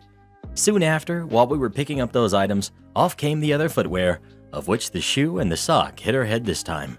Whoops, I know you don't like these, but we have to put them back on. Again, everything was taken off and launched. Every single thing hit Terry in the head again. I went to gather his things and said, I am so sorry. We will get these back on ASAP. She handed them back to me and said, Forget it. Obviously, the ISP needs to state that he can't have his footwear on. Let me make a note. She looks at his plan, looks at us, looks at it again. Oh, he only has to have them on in the van? Cackles. Am I the jerk for not cleaning before a cleaning service arrives? I, 27 female, am a mom of two, a four year old and a two year old, and recently became a single mother very unexpectedly. I've been struggling terribly keeping up with deep cleaning since I went from working a part-time job to that and an additional full-time job. I know a lot of people do that and more while also maintaining their household, but I wasn't prepared for it. I need time to adjust and I don't want my kids to notice the difference. My best friend, who knows I'm struggling, recommended her niece, who has just started her house cleaning business. So after some budgeting, I hired her to clean every other week. She does a deep clean of the entire house with the exception of the kids' playroom, which I asked her not to worry about so the kids can be occupied in there when we're home and she's cleaning. Ever since she started though, she makes little comments about certain things not being part of her job. It's not always the same complaint. First, it was about wiping down my daughter's high chair. No food on it, told her not to worry about it in the future. Another time, it was my son leaving toothpaste in the sink. Today's complaint was about tub rings in the bathtub. She said she's not here to clean up after kids and would prefer I clean those areas on my own if I want her to continue working for me. I told her I'd figure it out. I've never hired someone else to clean my house before, so I have no idea if this is normal. I always thought you just make sure your stuff is put away and then you stay out of their way so they can get the job done. I already make sure the house is straightened up and I do clean in between. But am I the jerk for not doing more? Not the jerk. If I'm hiring someone to clean my house, including my bathrooms, but they're complaining about toothpaste in the sink and tub rings, I would be looking for a new cleaner. I can see not wanting to wipe down the high chair, and OP said fair, don't do that. But the rest is exactly what they were hired for. Fire her and find a new cleaner who doesn't mind working, OP. Yep, it sounds like she doesn't want to do deep cleaning, only light cleaning. When I was cleaning houses as a side gig, tubs, sinks, and even the high chair would have all been part of a normal clean. Deep cleaning was stuff like cleaning baseboards, doing windows, and vacuuming the ceilings for cobwebs. Not the jerk. Those things are the definition of what she should be doing. The sink and the tub? Are you serious? I thought this was going to be like you're a hoarder or your kids' toys are everywhere. Hire someone else. OP. The kids' toys are definitely everywhere in the playroom. That's a big part of the reason why I never wanted her to bother with it though. I'm on a few waiting lists for other cleaning services, which I did before hiring her, but it looks like I might be on my own for now. Am I the jerk for being mad that someone revealed my pregnancy at a family gathering? My boyfriend, Lucas, 33 male, and I, female 32, learned that I was pregnant two weeks ago. I'm currently a little bit more than one and a half months pregnant. We were not trying, and it was an accident, so we are a little lost. We're at a point in life where we consider the possibility of kids, but we never decided anything. Right now, the only people who know are some of our closest friends. I'm not going to lie, it has been some intense and stressful couple of weeks. Yesterday evening, we had a family gathering. It's my uncle's birthday this week, and so he and his wife rented a big house. We all went yesterday night, and we were supposed to stay until tomorrow. It was also the opportunity to have all the family and close friends reunited together. Yesterday night, we all had dinner together. It was a buffet, so everyone was standing and talking. The real meal was supposed to be today at noon. Lucas and I thought it would be a way to take our mind off things. Keep in mind that at this point, nobody at this event knew. So yesterday we were all catching up when my cousin came to introduce his new girlfriend Anna to us. I see my cousin often, so we only talked a little. After a while, however, Anna came back to us and did not leave me alone. She kept talking to me, cutting other people off and trying to make me drink to have fun. I told her that I was not a drinker, which is true, especially at family gatherings, and I tried to make her understand that I wanted to talk to other people. At one point, Lucas got fed up and went outside. She again tried to give me a drink, and this time when I told her no, she asked in a teasing manner if I was pregnant. I froze up, and before I could say something to her, she started telling me that she was happy for me. I told her nobody knew, and her answer was, OMG, this is such a good opportunity to tell your family. And then she made a toast and told everyone. Everything happened so quickly that I couldn't stop her. Everyone came to congratulate me, and I started getting overwhelmed and cried. My cousin went to get Lucas, who came for me, and we left to go to our rooms. A lot of people tried to follow us, but he explained that we needed some time. Later, he went out and told people that we didn't want everyone to know yet. They left us alone for the rest of the night. This morning, we went for breakfast, and a lot of family members called me dramatic for leaving the night before. I tried to explain that Anna had no right to tell people and that we didn't want people to know. They got mad at us, saying that at one point or another they would have known, that I should not have kept it a secret and that I should be thankful for Anna so that we could all celebrate. We lost it and went home. My family kept calling and texting us. They said that we overreacted and that we spoiled the good news and ruined it for everyone. Not the jerk. As a non drinker, I can say right now that Anna was already the jerk for not respecting the fact that you don't drink and just leaving it at that. People like that are so annoying. This is entirely her fault she should have respected your boundaries from the beginning, but she didn't. You deserve an apology from her. Am I the jerk for getting more expensive gifts for my friend than I do for my girlfriend? My best friend of seven years has a very expensive taste. I've always bought her fancy and luxurious gifts, and she's the happiest when I do so. No, I never wanted to date her or she to date me. It's just a thing we did, and we were always close platonically. I'd do the same for my male friends as well if they had expensive taste. My girlfriend of two years never showed or implies she had expensive taste, so I just bought her some regular things because I knew she'd be happy and grateful either way. I didn't have to break the bank to make her happy, and I really love her for that. But recently, she raised a concern to me about how it seems very weird and dismissive and favoritism how I put so much effort into my best friend's gifts than I put into hers. She said she's feeling I favor my best friend over her because I put more thought and more research into getting her the perfect gift, while to my girlfriend, she assumes I just get the first thing I see just to be done with it. I explained to her that I buy her more random gifts because I know she doesn't prefer something specific and she'd be grateful even if I gifted her chocolate. She told me that's the problem and that I never even thought of putting effort for her and that I'm simply not paying attention. It never occurred to me that way. Apparently, she's been trying to speak about this, but she claims I never get it and she feels like I ignore her on purpose and favor my girl best friend over her. Am I the jerk? So, because your friend is a superficial person that only likes expensive things, you reward her by taking a lot of time and care thinking about what to gift her and spend a lot of resources. And because your girlfriend appreciates more the thought behind the present and is not so worried about the price, you punish her by not thinking much about what you give her and also get her something cheap because you like she doesn't make you break the bank. I hope the way I just expressed this makes it clear to you how she feels about this situation. You don't have to spend gazillions on the presents for your girlfriend, but you do need to be thoughtful because she is a nice person that actually cares about the thought behind the present more than the present. You're the jerk. You're the jerk. How does less expensive taste translate to it's okay not to make any effort to put any thought in gifts for her?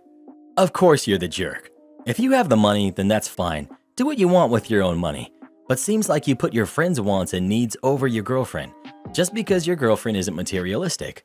She'd probably appreciate effort and memories over gifts. Just because your friend has expensive tastes, that doesn't mean you have to fund that. Well, who do you think is the jerk? OP or his girlfriend? Please let us know. I'd love to be his friend. Maybe he'll buy me expensive stuff too. Karen's sister demands I buy better presents for her kids. I'm a 23 year old female with two young nephews. I enjoy reading. I have a home office slash library that has half the room as bookshelves filled with books of all kinds, from school textbooks and research books to fantasy and kids' books. I admit I am a bookworm. Anyway, my nephews have started reading a lot more, so I decided to buy them some of my favorite books to read as a kid. Books like The Magic Treehouse, Geronimo Stilton, and The Enchanted Castle, etc. When I went over to give them the books, my nephews looked at them for a few minutes then threw them down on the ground. We were outside on the back porch. My nephews started asking what else I brought for them and why I gave them smelly, boring old books. The books were brand new, still had the stickers on and everything. I thought maybe they were just being kids, because, you know, they're kids. But when I explained I just brought the books for them, they threw a huge tantrum. They were screaming and crying about why I didn't buy them video games and toys instead, and just gave them stupid books. They started stomping all over the books on the ground. Their mother, slash my sister, did not stop them. In fact, she scolded me for not getting them something they really wanted, like video games. I started arguing with her that she had told me that they loved books and they wanted to read more, so that's why I got them the books. I thought they would enjoy these books as I did as a kid. My sister screamed at me about being self absorbed and how not everyone loved books like I did. But she was the one who told me that my nephews really loved books like I did, repeatedly. I knew I was getting nowhere with this argument, and my nephews screaming in the background, so I picked up all of the books off the ground and left to go back home. Within the next few days, my sister repeatedly called to berate me and yelled at me for not getting them something else. Then, after a week, my sister called to ask if I was getting my nephews anything better because they were so disappointed and upset. I told her no, she yelled at me some more. Before she hung up, she asked when I was going to bring over the books again or if she needed to come get them. I told her no and that I was keeping them because she and my nephews were being ungrateful and entitled. I told her that she should teach her kids better, not to be spoiled brats, and to be appreciative of any gift that someone gives them, regardless of if they like it or not. Like I said, I enjoyed these books as a kid and would love to reread them as much as I can. So I decided to keep them for myself because my nephews didn't want them to begin with and were being entitled brats. So, am I the jerk for keeping the kids' books I bought for my nephews? Edit. My sister has raised my nephews to be spoiled rotten. If they don't get their way, they will be little monsters to you or others, and my sister encourages their selfishness and bad behavior. One of the reasons I am low contact with her right now. For the people that are asking for my nephew's ages, one is 7 years old and the other is 2 years old. I mostly got the books for the 7 year old, but thought maybe he or my sister could read them to the 2 year old, like bonding time or something. And yes, both play video games. My sister bought each a small handheld kid iPad or whatever it's called, I'm not sure. I didn't even know that such a thing existed until my nephews were a little over one year old. They both were taught how to use them, as well as YouTube, kids' TV channels, and Game Boys. I've ranted about kids using technology in another sub before. When I was a kid, we played outside. My seven year old nephew knew how to use basic internet slash computers at the age of two. Now my two year old nephew does as well. I believe today's parents rely way too heavily on technology to entertain slash keep their kids busy, but that's just my opinion based on my experience with my nephews. I let a 9 hour long baby cry loop from YouTube run on my sound system on max volume to teach my neighbors a lesson. So I wasn't at home, obviously, during the night shift since I was at work. Before I left, I set up a baby cry loop from YouTube on my Bose sound speakers on max volume and kept it running the entire night. I have sleepless nights since October of 2021 because of their baby. I tried talking to them, but they seem to be really ignorant parents. Sometimes their baby cries for four to five hours without a break. I will probably soon report to the police because to me, that doesn't seem normal. I'm only 23, male, without a kid, but even my girlfriend said this can't be normal. Also, P.S., I made sure that nobody else is affected by it. I only have one neighbor right now because the other two rooms are being sanitized. Also, sorry for the rather bad English. Edit. I figured since this gets more comments than I expected, I would edit this post quickly. Yes, I now see that what I did was stupid and wrong, but I will apologize to them. But what the heck, seriously? I get that most replies are, you're the jerk, but what's shocking to me is that most comments indicate that everyone has to just accept getting their sleep schedule absolutely ruined and not just my sleep schedule, as I mentioned, I am sleep deprived for over half a year now. I cannot concentrate on university or on my private life, as well as I did before all of this. People are asking me if I'm depressed or if something is wrong with me, and all of that just because of another person's infant. I shouldn't pay with my education nor my social life. And to the people who suggest I just move out or move into a house if I can't deal with crying babies, yeah, I'm sure everyone my age being a student has that possibility. So, yeah, my action was stupid and I am 100% going to apologize. However, just because you now have a baby doesn't mean that literally no rules apply to you anymore.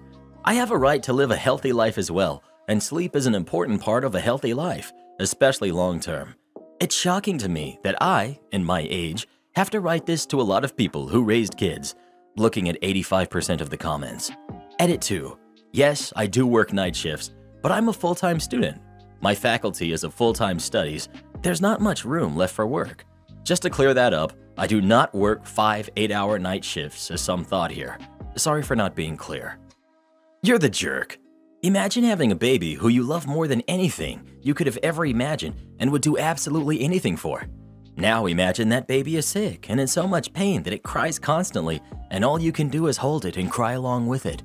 You're sleep deprived, you feel like you're failing, and you just know that on top of how awful you feel for being unable to help your baby, that your neighbors have to listen to it too and are probably judging you and thinking you're a bad parent.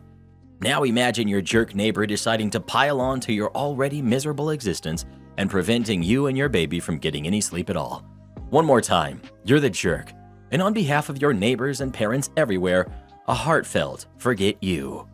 This, I remember my first kid. She had an allergy to milk and I didn't know. I would spend hours holding her while she screamed, and I would silently cry along with her because I was desperate and I didn't know how to make her feel better. The impact on my mental health was so much. Fellow milk allergy mom here, it's the worst. I was absolutely distraught because we did everything we could think of and she was still just so miserable. My husband and I would just sit and cry with her. We only found out because we were so sleep deprived that my husband accidentally grabbed soy formula instead of regular, and she was a totally different baby. If you work the night shift, you can't even be mad that people are up making noise during the day. But you can get in trouble for being loud during quiet hours. You're the jerk. Right? Like I work night shifts too, and yeah, it sucks if you need to sleep and everyone around you is awake and busy, and with that, also loud, but that's just something you have to deal with. Sure, we can be courteous to each other. My downstairs neighbor once came up and asked me politely if I would mind turning my music down since she tried to sleep for the night shift. Sure, I did, but the difference is you can't just turn a baby down. It's not like the parents enjoy it when the baby cries or sleep. Well, what do you think? Is OP the jerk for blaring that sound all night or not? Please let us know. Desperate times call for desperate measures. Ree. Would I be the jerk for calling the police on my boyfriend after he let his brother and his family live in my holiday home without my permission? For context, I, 28 female, inherited a holiday home from my grandma some time ago. I never really use it as it's roughly a 5-hour drive out from London where I live. It's relevant to the story that the keys to the holiday home are on a rack, with literally every other key to anything my boyfriend or I own. The holiday house has a security system hooked up to my phone. When it detects someone on the property, cameras turn on and I can see them. My boyfriend's brother, 33 male, recently had his fourth kid. Him and his wife currently live in a two-bedroom apartment. So three days ago, they were both over at mine and my boyfriend's house with all their kids. He was talking about anything and everything. I was holding the baby. My boyfriend's brother eventually mentioned how I have my holiday home and how it has more than enough space for him and his wife to raise their four kids. My exact response was, yeah, but I'm not gonna let you live there, so... He went quiet after that, and his wife started to collect their kids and their things. They left about 10 minutes after. My boyfriend hasn't said anything to me about the conversation, yet. I'm feeling bad about my response, because I know that they really do need the space. So fast forward to yesterday. I wake up for work and I realize my boyfriend isn't in the bed. Nothing out of the ordinary. He works from 8.30 a.m. When I'm finally about to walk out the door, I go to grab my keys and notice my holiday home's keys are gone. I look around for them, can't find them, so I call my boyfriend. First time he doesn't answer. Second time he doesn't answer. Third time he does. The conversation went, Hey, have you seen my other house's keys? Yes, I have them. Cool, why do you have them though? Grab them by accident. I'll return them when I'm back from work. I thought everything would be fine, so I continued with my day and went on to work. Midway through my workday, I get a notification from the house's security system. I open it and find my boyfriend, his brother, and his family all outside the door with a moving van in the back. I was fuming. When I got home, my boyfriend was already there, acting as if everything was normal. I started screaming at him asking why he'd move a family into my house without my permission. He tried to justify it and say he had to help his family. It honestly made me more angry. I told him that we were over. He has one day to get his brother and his family out of my house or I will call the police on them all for trespassing. That all happened around 6 yesterday, 14 hours ago. He hasn't called me or anything, but I fully intend to go through with my threat. But I know they're struggling right now. So, would I be the jerk for calling the police? Edit. Thanks for all the advice. By searching through the UK's government website, I've managed to figure out what I can legally do. I've also called the police on them already. I haven't received any updates on that yet, but I'll share them when I can. Edit 2. I called the police a small while ago. About 30 minutes ago, they came and returned my keys and let me know that the family had been told to leave by them. At first, they refused, but eventually they packed their things up and went. My ex-boyfriend, his brother, and his brother's wife have been blowing up my phone, asking why I'd put them and their kids through this. I've blocked them all. I feel absolutely terrible about what I did, and I know there were probably better ways to handle the situation. I even considered letting them stay after all, but I'm not sure if they would pay rent or anything. For the future, I plan to rent the home out, as many of you have suggested, but I'm not sure how my ex-boyfriend's family would take that. Not the jerk. Call the police now. Do not procrastinate out of confusion and misplaced kindness any longer. This is a bad situation, and the longer you delay addressing it, the more complex and difficult it will become. These are people who made the conscious choice to deceive you and steal from you. You cannot trust them to behave reasonably or predictably. you need to get them out of your property, have the locks changed, and pursue whatever legal action is available to you to ensure that they are sufficiently cowed to be unlikely to risk doing something this foolish again. This. I'm not sure how squatting rights work in the UK, but the less time they have there, the better. I would have driven right down there and started throwing their crap out on the lawn. Not the jerk. Sorry, but for all the people saying that OP is making kids homeless, A. It wasn't their house to suddenly move into to begin with, and B. It is not OP's responsibility to provide shelter. The parents are the one responsible, and they are essentially squatting. It was not in the boyfriend's gift to decide what happens to that house. It takes time to box things up and planning a move, so it's possible boyfriend and his family must have been planning this for some time behind OP's back. Will they be paying for the rent and bills? Has any of that been considered, or were they planning to have OP foot the bill? I'd call the police, OP. Not the jerk. It's your property. You said no, and your boyfriend literally went behind your back and moved his brother and his family into your house. Call the police before you have a case of squatting on your hands. What else does he do behind your back? It is also not your problem that his brother and four kids live in a two bedroom place. Firstly, they didn't have to have four kids, and it's his responsibility, not yours, to ensure adequate housing. Once again, not the jerk. Well, what would you have done in this situation? Would you have let him live in your vacation house or not? Please let us know. I would have set up some booby traps. Have you ever seen the Goonies? My mom seriously embarrassed me by arguing with a cashier. But was she actually in the right? So my mom, my sister, who's 14, and I, male 16, went to the mall to watch a movie. After it ended, we decided to shop for a while, and they wanted to enter this women clothing store. Once they had their clothes, we all went to pay. One of the things my sister chose was a $12 blouse.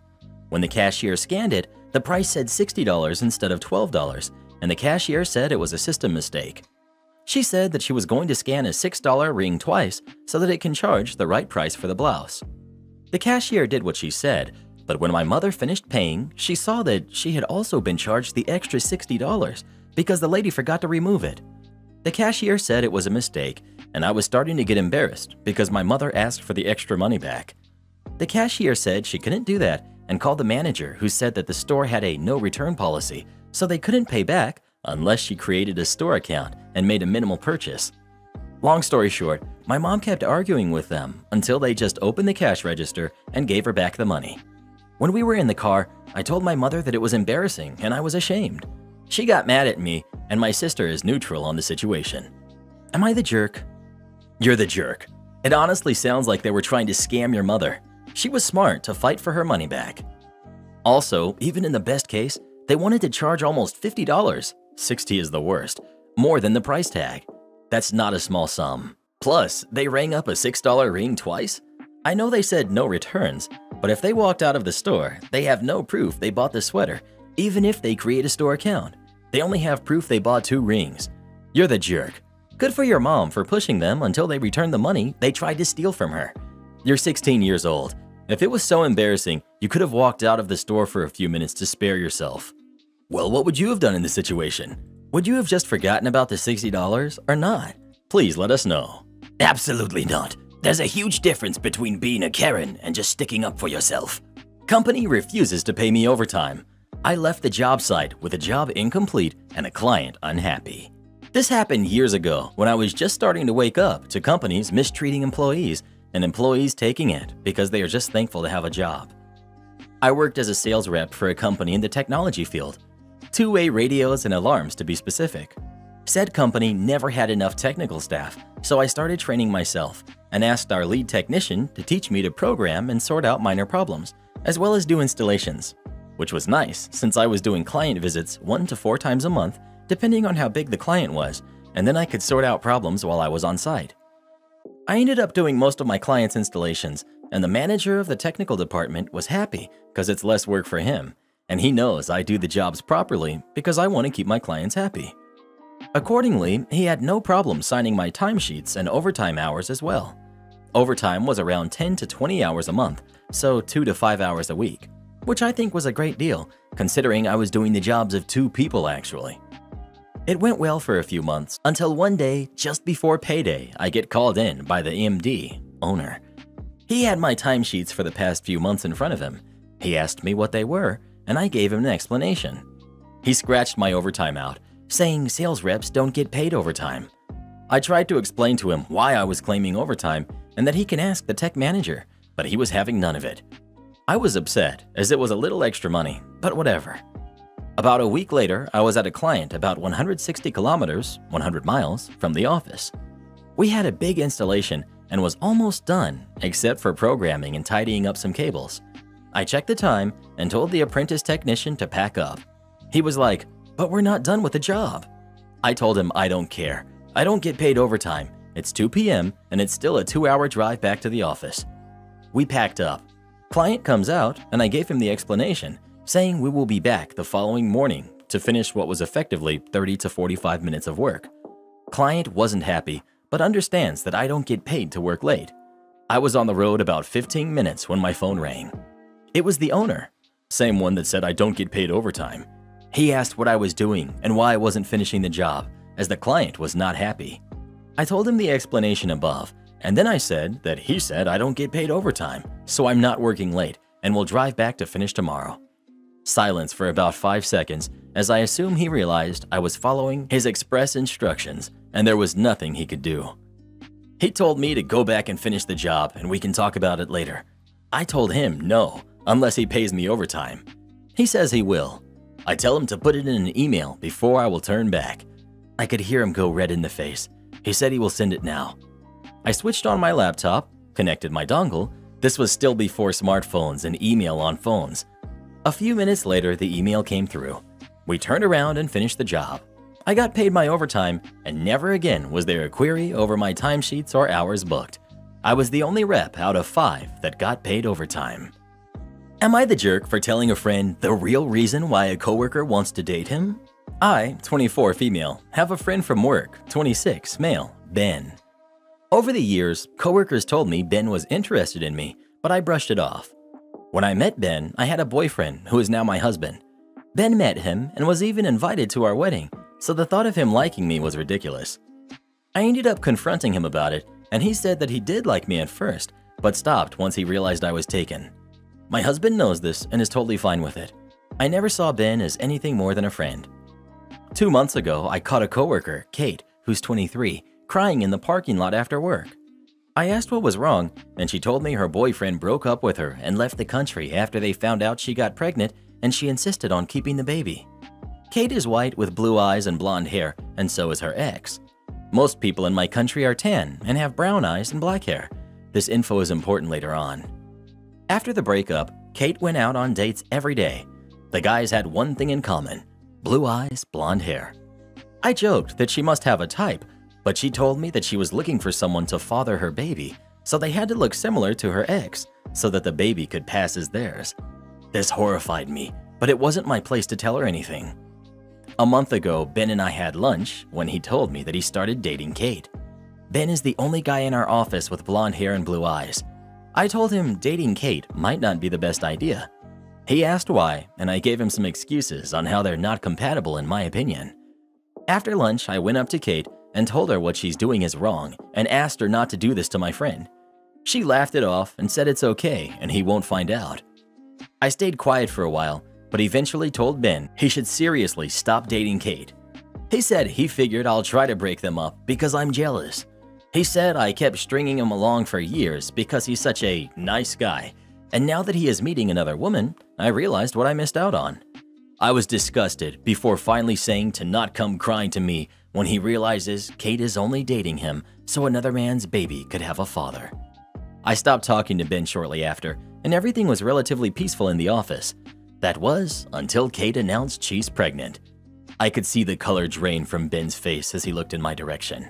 A huge fight broke out between the two after Ben demanded a paternity test when Kate tried to convince him it wasn't necessary. Kate called me later, screaming that I ruined her life, so my guess is they broke up. The thing is, they really do deserve each other, so I'm starting to wonder whether I made the right decision by telling Ben the truth. If I hadn't, they would have probably gotten married, and the baby would have had a loving father to look after him. Am I the jerk? Not the jerk. Kate is a jerk, and Ben should stop being so full of himself. Stringing him along because he's a nice guy? Goodness gracious. Well, who do you think is the jerk? OP or Kate or Ben? Please let us know. Kate and Ben would have been perfect for each other. They both sound like absolute fools. Am I the jerk? I didn't help my ex-wife. My ex-wife and I had very different views about spending money. After the birth of our daughter, three years back, she started spending a lot of unnecessary money. I tried having discussions with her about budgeting, but she refused, saying that all of it was necessary for her. Some of the expenses were definitely necessary, such as a mother's helper, maid, cook, etc., and I had no problem with those kinds of expenses that would help her recover from childbirth.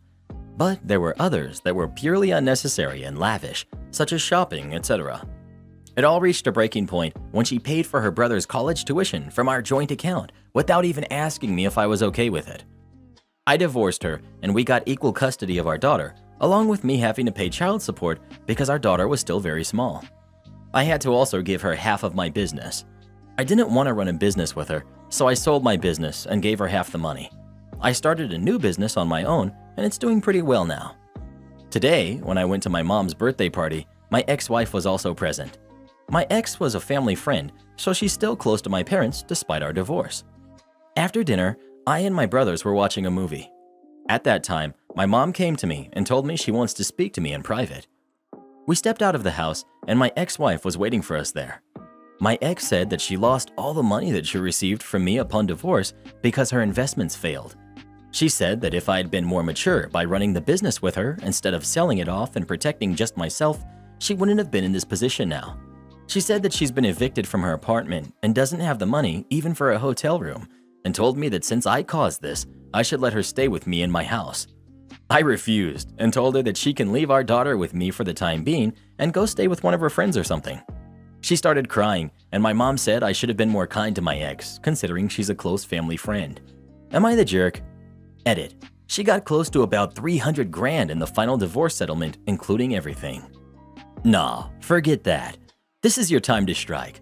I would get a lawyer and fight for custody. There's no way someone that demonstrates that she is irresponsible with finances should be able to still have custody.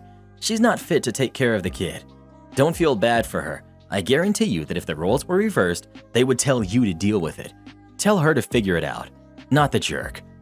Exactly. If it were him, she would definitely sue for full custody and most likely get it too. Besides, he still paid child support even when they have equal custody. The fact OP didn't laugh in her face and call her ridiculous means he's definitely not the jerk. Marrying someone rich, or who becomes rich, shouldn't be a set-for-life scheme if you divorce early on, or if you didn't contribute significantly in a way that helped them become successful. Men and women who get rewarded for marrying well for a brief period are ridiculous jerks, and it's absurd the amounts they get to maintain their lifestyle sometimes. They're adults, they can get a job. I'm glad OP sold the business to separate from her financially.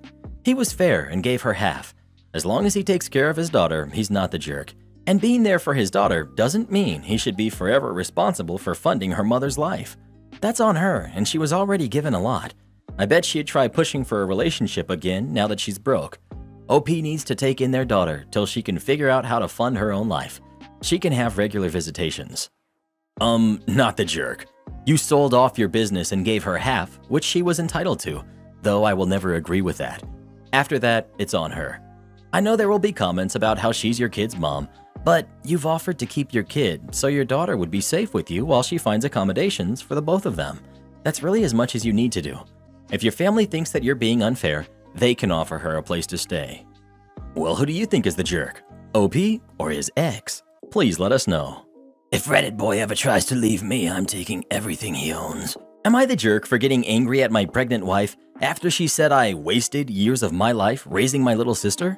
When I was 15 years old, I'm male, and my sister was 2 years old, my mom passed.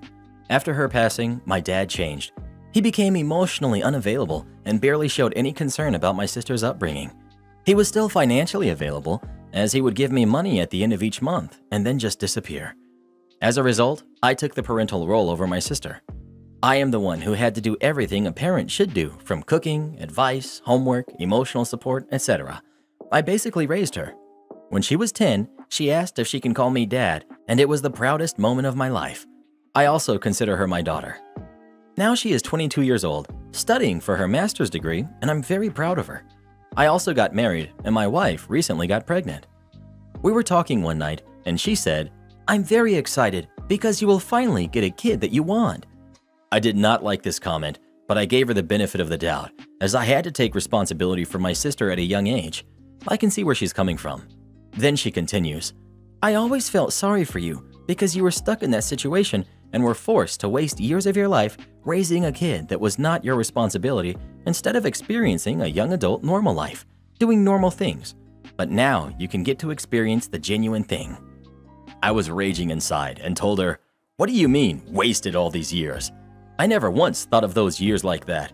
I'm very proud that I was able to raise my daughter alone, despite what happened with our parents, into a healthy, functioning adult.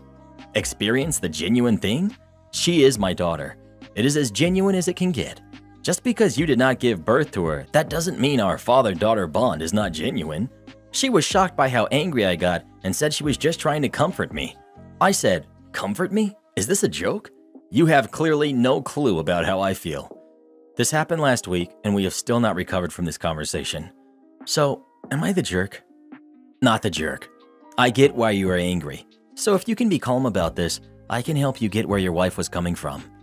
Your wife sees childhood as an important and necessary aspect of human growth and development.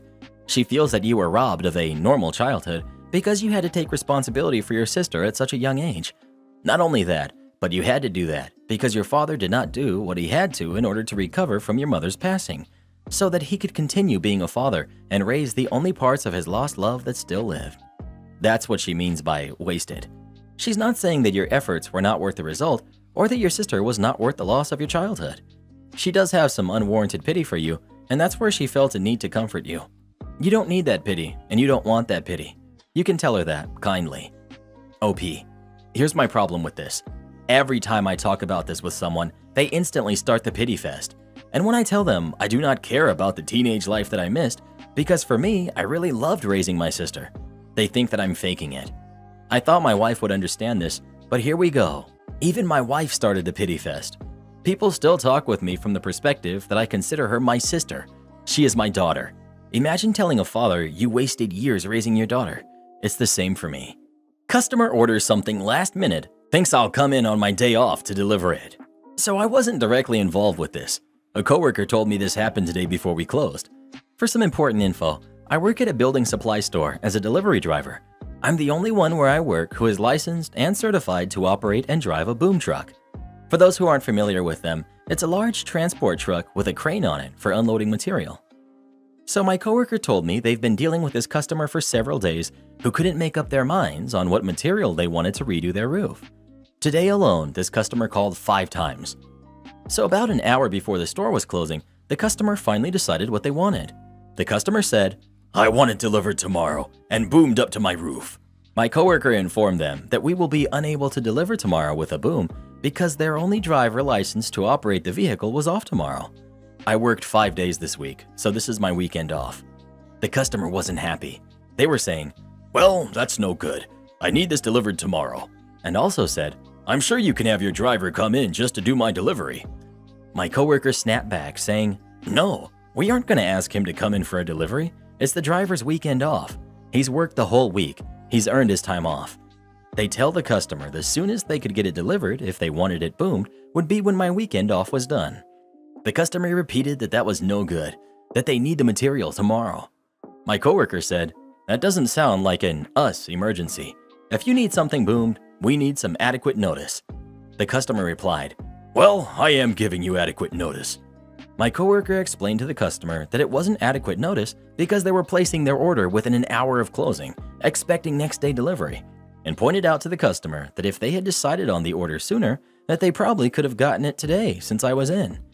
Eventually, the customer backed down, agreed to have everything delivered tomorrow, but it would only be dropped on the ground and not taken up to the roof.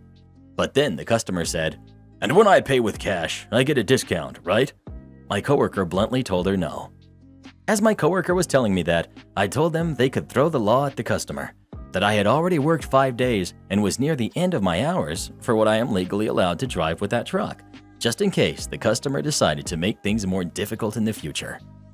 Am I the jerk because I won't give an employee six weeks off to be with his newborn? I'm looking for moral judgment since I know I'm legally in the clear. I'm the GM of a small grocery store. Because of how small our store is and how limited our hours are, we can only afford to keep a staff of five plus myself. Dave joined our staff about four and a half months ago. He's a very quiet man and he does not discuss his life outside of work. He doesn't actually say much at all. All he's really said about himself is that he's new to the area and he's in his early 20s. His performance has been, at best, slightly below average. He has a problem being on time for shifts, and he has a tendency to ask to leave early on days where he's been late. He does the basic bare minimum of his duties. Dave spoke to me yesterday and revealed to me that not only is he married, but his wife is pregnant and her due date is this coming Wednesday. He asked me to give him at least four weeks off to be at home with her, but he would prefer I give him six weeks. I was shocked because none of us knew he was married, let alone with a kid on the way. I told him I'd review his request and let him know. The rule at this store has always been that time off requests must be given with a minimum two weeks notice. I tell new hires this multiple times during the onboarding process, and Dave was informed of this several times. I'm also annoyed because Dave's had four months to speak to me about time off, and he waited until literally four days before he needed the time off. I work six days a week at the store, and I'm always available in person or on the phone. To give Dave his time, I'd have to hire someone to take his place and train them, and to me, that just didn't seem fair to anyone to hire someone for a month to six weeks and then let them go. But we just don't have the ability to keep Dave and a new hire and the rest of my staff. Now, we've had staff ask for time off before, and we can handle a two or three week absence, but six weeks is too much to ask of my staff. It isn't fair on them. I spoke to Dave today and told him I couldn't give him the time off he asked for, but that I could give him two weeks off. I later offered three weeks, and then give him a reduced schedule for as long as he needed so he could still be with his family and make money. Dave was shockingly angry when I denied his request. Like, he was annoyed. He was furious. He began accusing me of being unfair and said that if a woman had asked me for the time off to have a baby, I'd have given it to her. I informed him that when I gave birth to my child, I was only able to take off three weeks. And we've only had one other employee take maternity, and she was able to take a month before she told me she'd need the time off with about five months of notice. Dave went back to work in a bad mood. Members of staff said he was bad mouthing me. I'm not going to fire him at this time because I'm sure he's stressed enough as it is. But was I the jerk for not giving him exactly what he wanted? Edit. We're in North Carolina, where we do not have a paid family leave for anyone other than state employees, and in cases where the business offers it. FMLA only qualifies if your business has a certain number of employees the employee has worked a certain amount of hours in a 12 month period, and the employee gave 30 days notice for the request.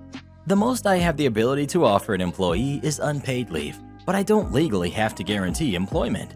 That said, I would never take advantage of this law. Neighbor trespassed on my property twice to turn off my outdoor lighting. Some backstory. We moved in about six months ago, first house in California. There are some soft lights around the house for security, I keep them at 1% brightness. Only time this neighbor has said anything to us was to shout at us about cutting down some trees. The trees were dying anyway. He's never talked to us about the light being a nuisance. I'm guessing it's more visible now without the trees, but again, he's never said anything to us about it. The last two weekends, I've caught him on video entering our property, going over a short, 4 foot fence, and unscrewing our light bulb.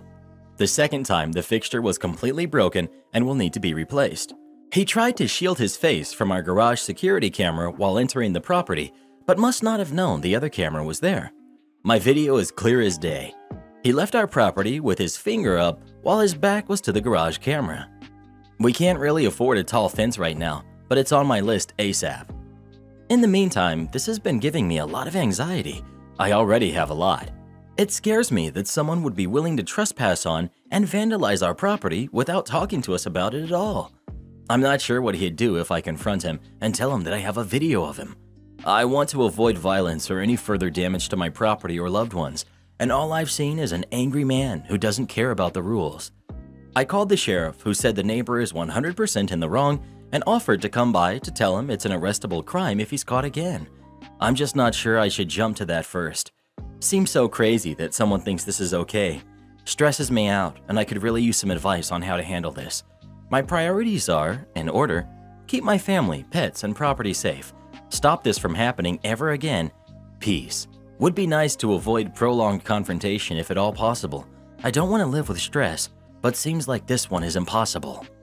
So, the guy never talked to you, save for yelling at you, trespassed twice on your property, and destroyed your property on the second time he committed the crime. Listen, there's an old saying only commit one crime at a time. Let's count his crimes at the moment 1. Trespassing, 2. Destruction of property. Get the sheriff involved. Well, what would you do in this situation? Would you call the cops on your neighbor or not? Please let us know. To be honest, someone would probably have to call the cops on me, bruh. Shady boss lied about my position to keep me from policy allowed benefits for years. I found out and it changed everything. A few years ago, I worked at a big retail company and had for many years. Eventually, I went through enough grad school education to get my license to work at a higher level. Much more pay, more job satisfaction, more responsibilities, fancy title, but the job market was rough. I stayed on with my company to work in a floater position where I would cover a large area and work at all the stores within that area on a rotating but irregular basis. Eventually, I wanted to get a staff position where I have a single store assigned. The area was huge, the furthest store being over 100 miles from my house, and that is exactly where I was assigned to train for the new role. It was a rough store. Folks in my position were robbed and assaulted. Neighborhood was very unfriendly. Volume at the store was among the highest in the state. Staff turnover was, as you might expect, extreme. Well, after training, I wasn't really being scheduled to float to other stores. Once a month at most. I asked to be scheduled a little more diversely, since most of the stores in my area were much closer to my home and didn't require four hours of driving a day. Bossman told me that I was the only floater experienced enough to handle that store. I didn't buy it. But what can you do, right? Well, a colleague told me about the mileage reimbursement policy. Floaters working at a store more than 50 miles from home can file for reimbursement of mileage over that 50 miles each way. Can even include meals. So I filled out a few of these and sent them to my boss to sign. He didn't quite refuse, but he never actually signed and filed them. I suspect as soon as I left his office at our district center, he tossed them out. Bossman tells me later that they must be lost in the system. Eventually, the same colleague showed me how to fax those same forms to accounts payable, bypassing the district boss man. So I started doing just that. One day, boss man calls me in a panic. He wants to stop my filing the forms. I asked to be floated closer to home, but he won't budge.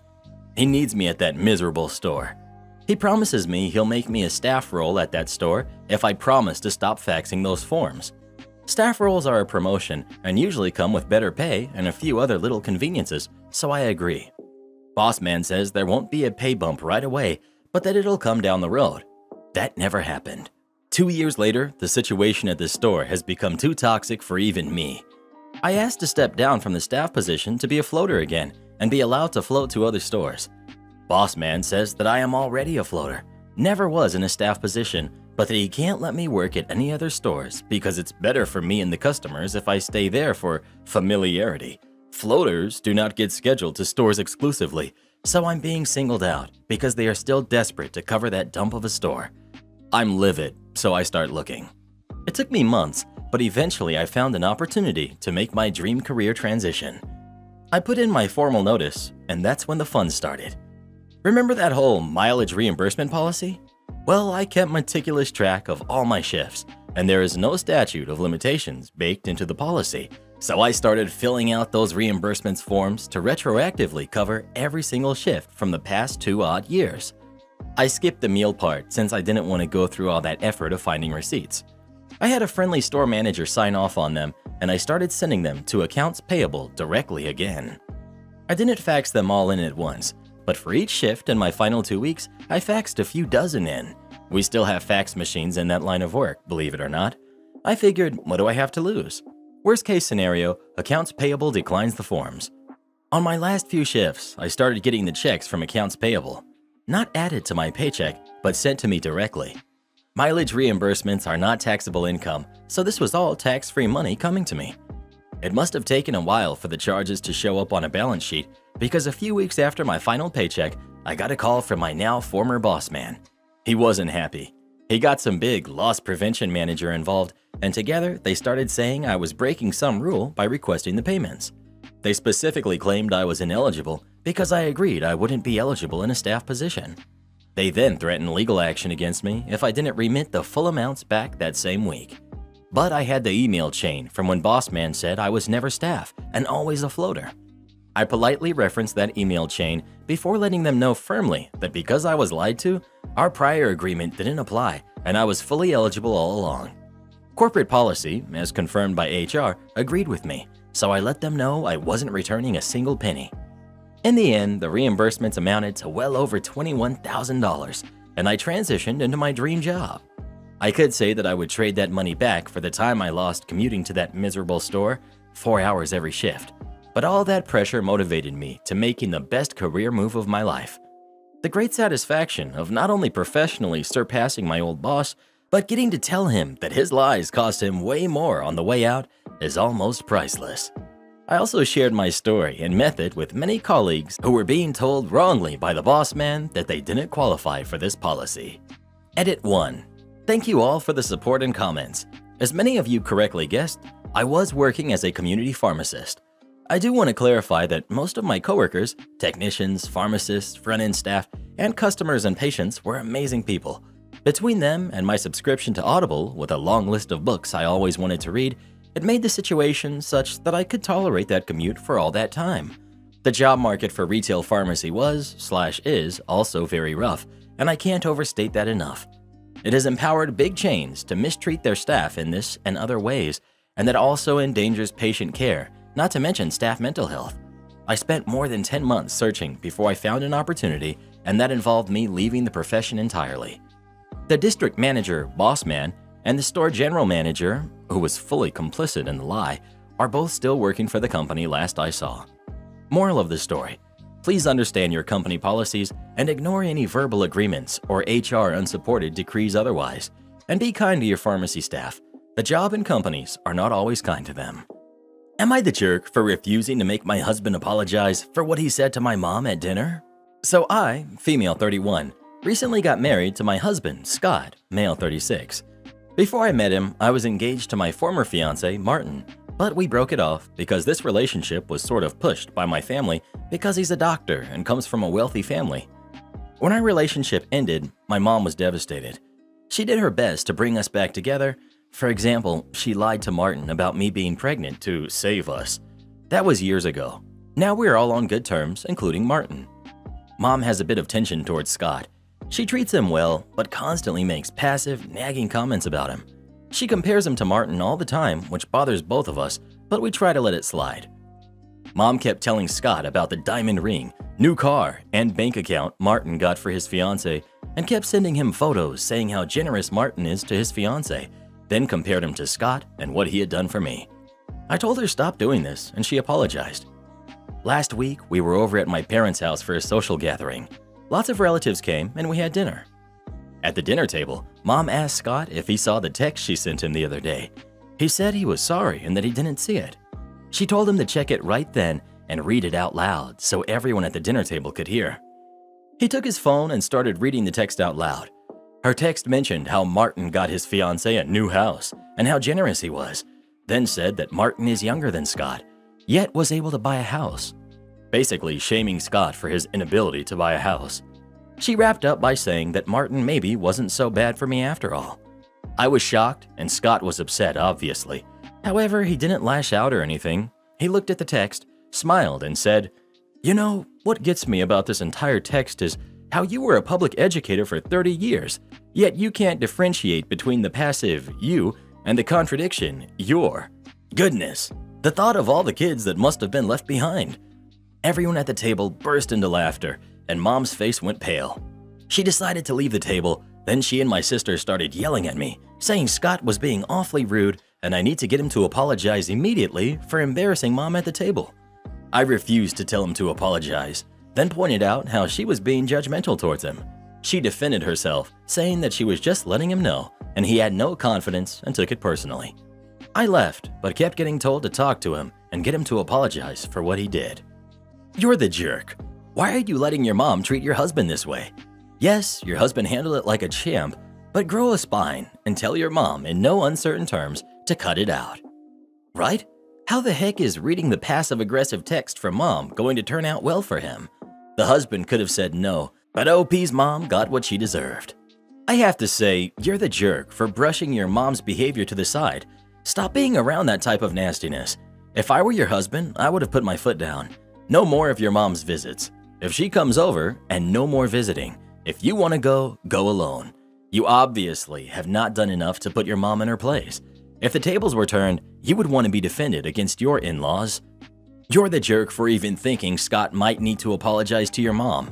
You're the jerk for not shutting your mom down a long time ago. Your mom is a total jerk who needs to be the one apologizing for her appalling behavior. Your sister is a jerk for siding with your bullying mom. Scott is a Jim and not the jerk.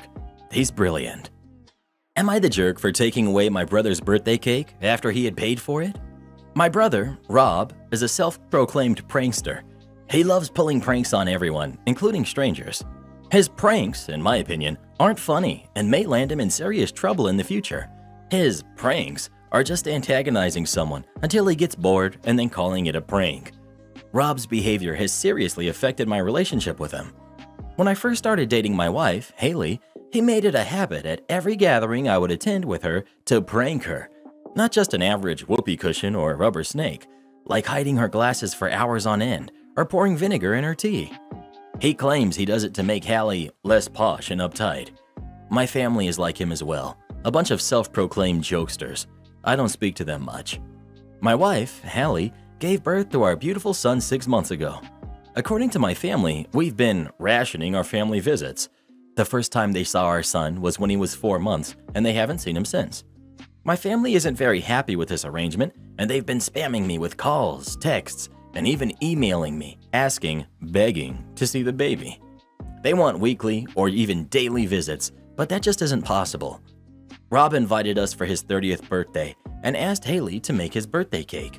Not just any basic, simple vanilla cake, but one of those fancy, detailed, decorated cakes that requires lots of time and effort. I was hesitant to go, and even more hesitant to let Haley bake him the cake. But Haley assured me that it would be alright, and attending the birthday might ease my family off our back. Rob paid her up front for the cake that he specifically wanted. Haley also made cupcakes just because she wanted to. Haley and I arrive at my brother's house earlier than everyone else, and when everyone arrived, I was pleasantly surprised to see how well the whole thing was going. They were very excited to meet my son, and they were very respectful towards Haley. Rob kept telling Haley to watch her back. I had no idea he meant it literally. While my wife was handling the cake, he came up behind her and poured cold water all over her. This obviously scared her a little and caused her to drop the cake. Rob got extremely upset, claiming that she dropped the cake on purpose. Haley started to apologize for dropping the cake while water was all over her, but I wasn't having any of it, and I admittedly lost my temper a little. I yelled at Rob for being so irresponsible and irrational, grabbed the cupcakes that Haley had made, which were untouched, and left with my family. It was a little dramatic. The next day, I woke up to a string of angry texts from Rob, telling me I had no right to take the cupcakes away from him because he had rightfully paid for them, and this wouldn't have happened if Haley could handle a little cold water. Haley thinks that I should at least apologize in the hopes that it would make everything go away. Not the jerk.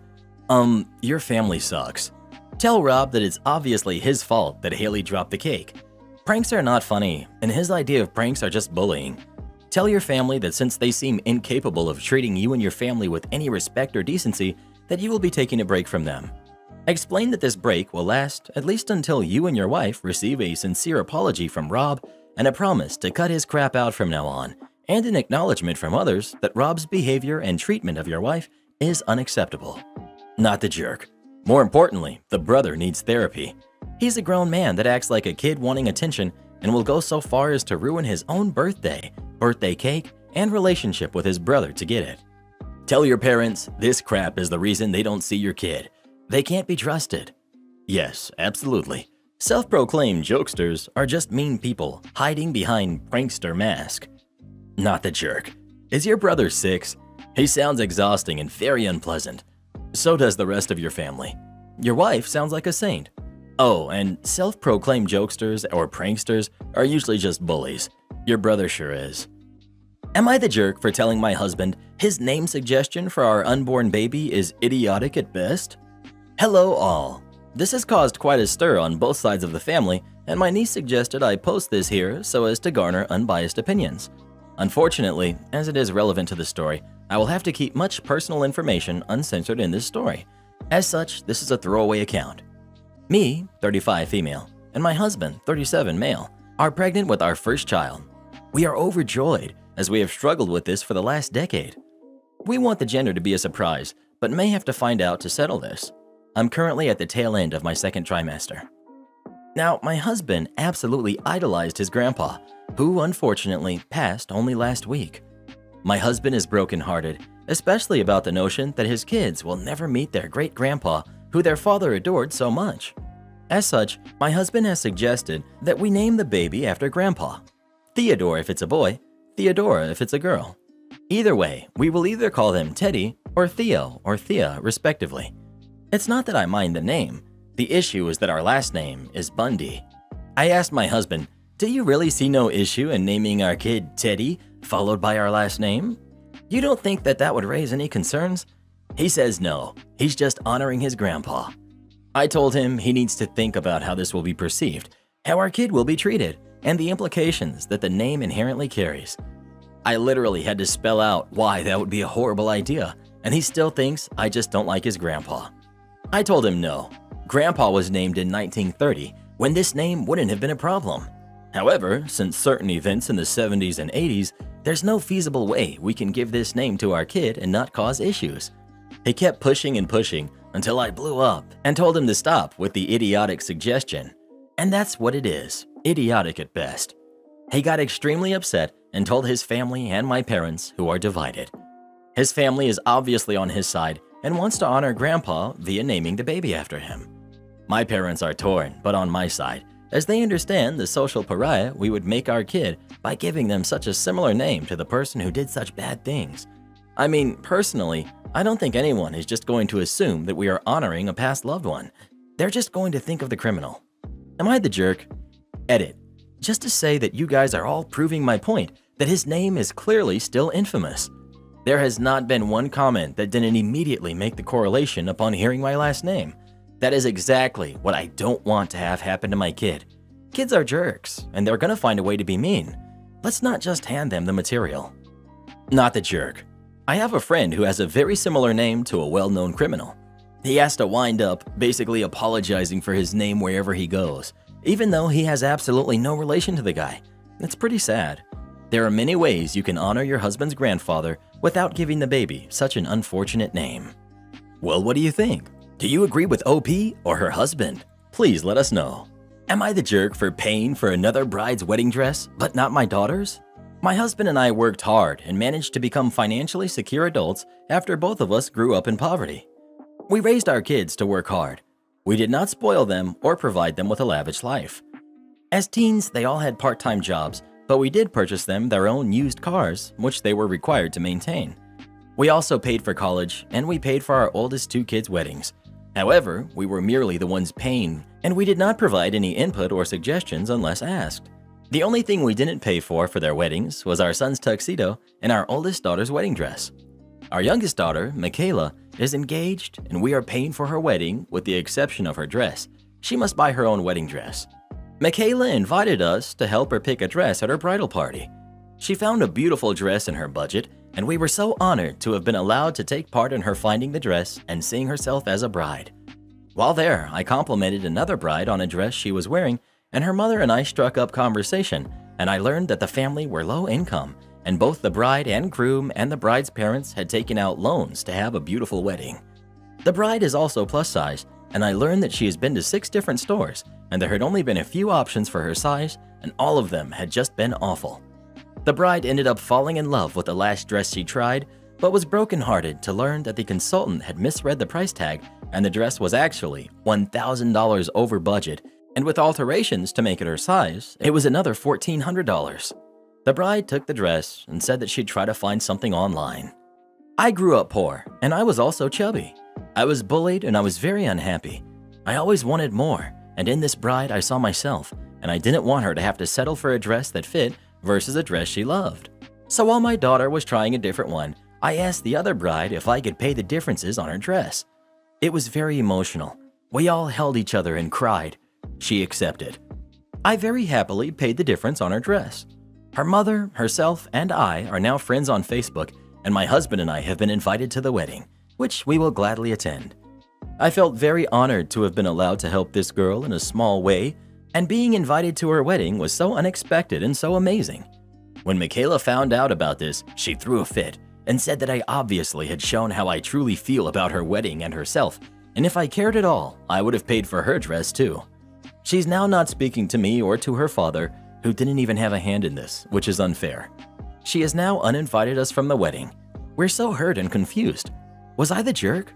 Edit. I wanted to add, Michaela didn't know I'd pay for the dress while we were at the bridal shop. She was in the fitting room doing a last minute try on, and I took the opportunity to go to the payment counter during that time. So, Michaela didn't lose any of my attention. In fact, we were all done. She had picked her dress, we had celebrated. She wasn't in the same part of the shop as us. She didn't find out until a few hours later at dinner when her dad accidentally revealed it then. He's a little talkative and didn't mean to reveal it. Not the jerk. If Michaela has uninvited you to the wedding, she has obviously uninvited your dollars too. Not the jerk. You were paying for her wedding. The only thing she has to buy herself is her dress. Your daughter is acting very entitled. Tell her you are no longer paying for her wedding as you are no longer invited. I bet she changes her tune real quick. OP. So far, we've paid around 26,000 for the wedding. Maybe we should suggest taking all that back. I think you should at least email her an accounting or funds spent on the wedding to date and what the expected final bill will be. Subject line Financial Independence Wedding. Good evening, Michaela. While I know you are terribly upset at the costs of your wedding, which were to be borne by your father and I, did not include your wedding gown, I also know that your father and I are equally upset at being excluded from your guest list. You've declared financial independence, for which I applaud you. A talented, intelligent young woman and her equally amazing husband should start off life as fully realized adults, sharing all matters, what I'm sending you now is an updated list of vendors and costs to date, with the approximate remaining costs for the wedding. I will include you and your fiance on the emails that I sent to them requesting that the ownership and responsible parties for the part of the wedding be transferred to you and your fiance. Most of the contracts, which your father and I are reviewing, have breakage fees, so we will not be able to recoup all of the costs spent to date.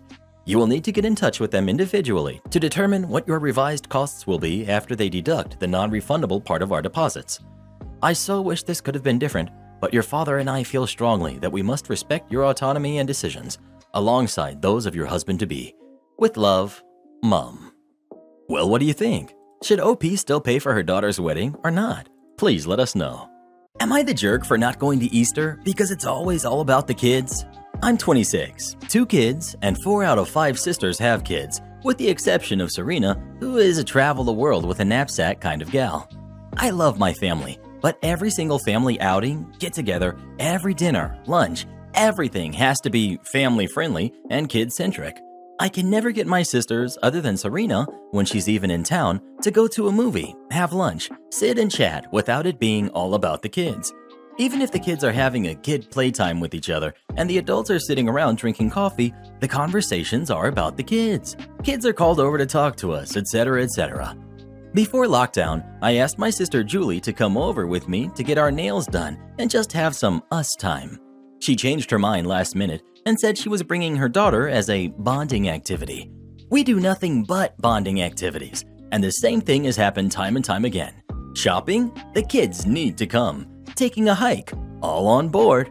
I expressed my frustration, and she acted like I was being super out of line, shocked, and went on about how she can't imagine doing things without her mini-me, and that it was weird. It became a whole, are you okay? Are you sure? Are you depressed? thing. The requisite Zoom family things were all about the kids with no adult time. So when we were talking about getting together for Easter, I thought, hey, maybe they'll want to catch up. I asked during a planning call, do you think we can maybe just have some time for the adults when the kids are playing so we can all catch up? My mom and sisters acted like it was the most ridiculous ask. Mom did the, Are you okay? And, I can't imagine wanting to spend time with my family and exclude you girls from any part of it. That's not normal. I said that I really can't sit through another kid centric get together. and that if we aren't going to at least do something and sit down and have cake and coffee together and catch up, just the family, then count me out. Well, they went through with it, and I ended up sending the girls over and staying home and having a great time, just me and Serena. She said that she understands how I feel and she stands with me because they exclude her as well since she doesn't have kids and has been clear that she never will. Of course, she and I are being talked down to and told that we're jerks to treat family like that, that we should have all been together as a family, and that it's time to grow up and accept that it'll never just be the sisters again. I cried about this a lot. Am I really wrong here? Is this normal and I just need to accept never seeing my other sisters one on one without their kids being the focus of everything? Guys, just a couple of points because it keeps coming up. I didn't ask for a kid free Easter at all. I asked for some time for the adults to drink coffee and catch up with each other while the kids were playing. And I have friends, but family and friends are different. Work is 8 to 4 only. Not me, but my coworker, and I am super proud of them.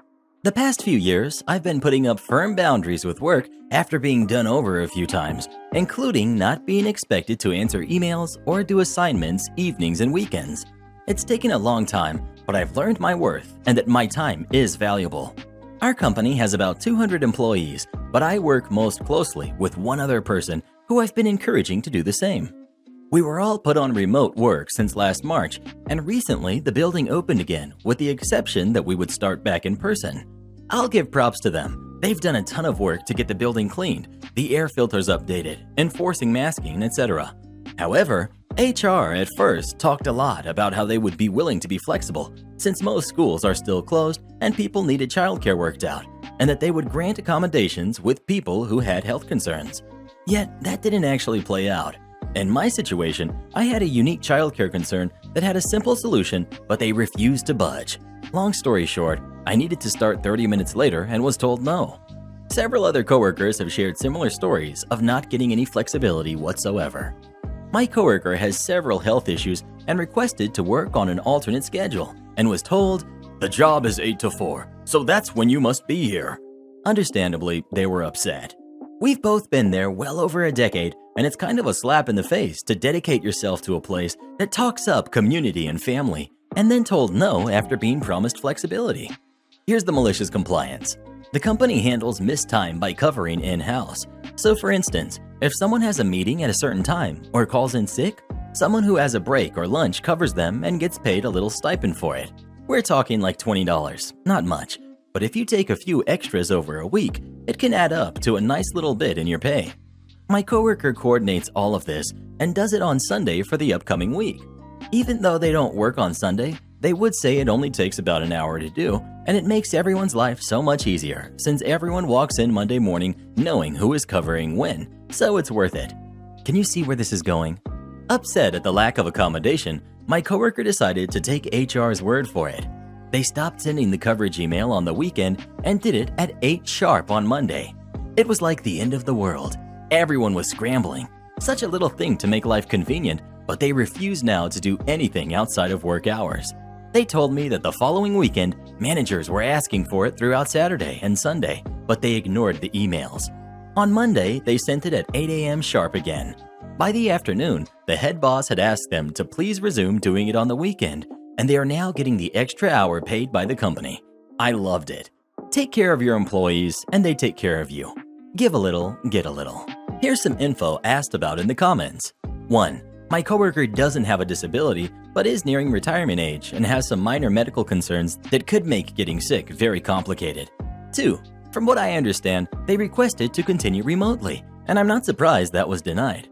While their role could be done at home, with people back in the building, it wouldn't make much sense.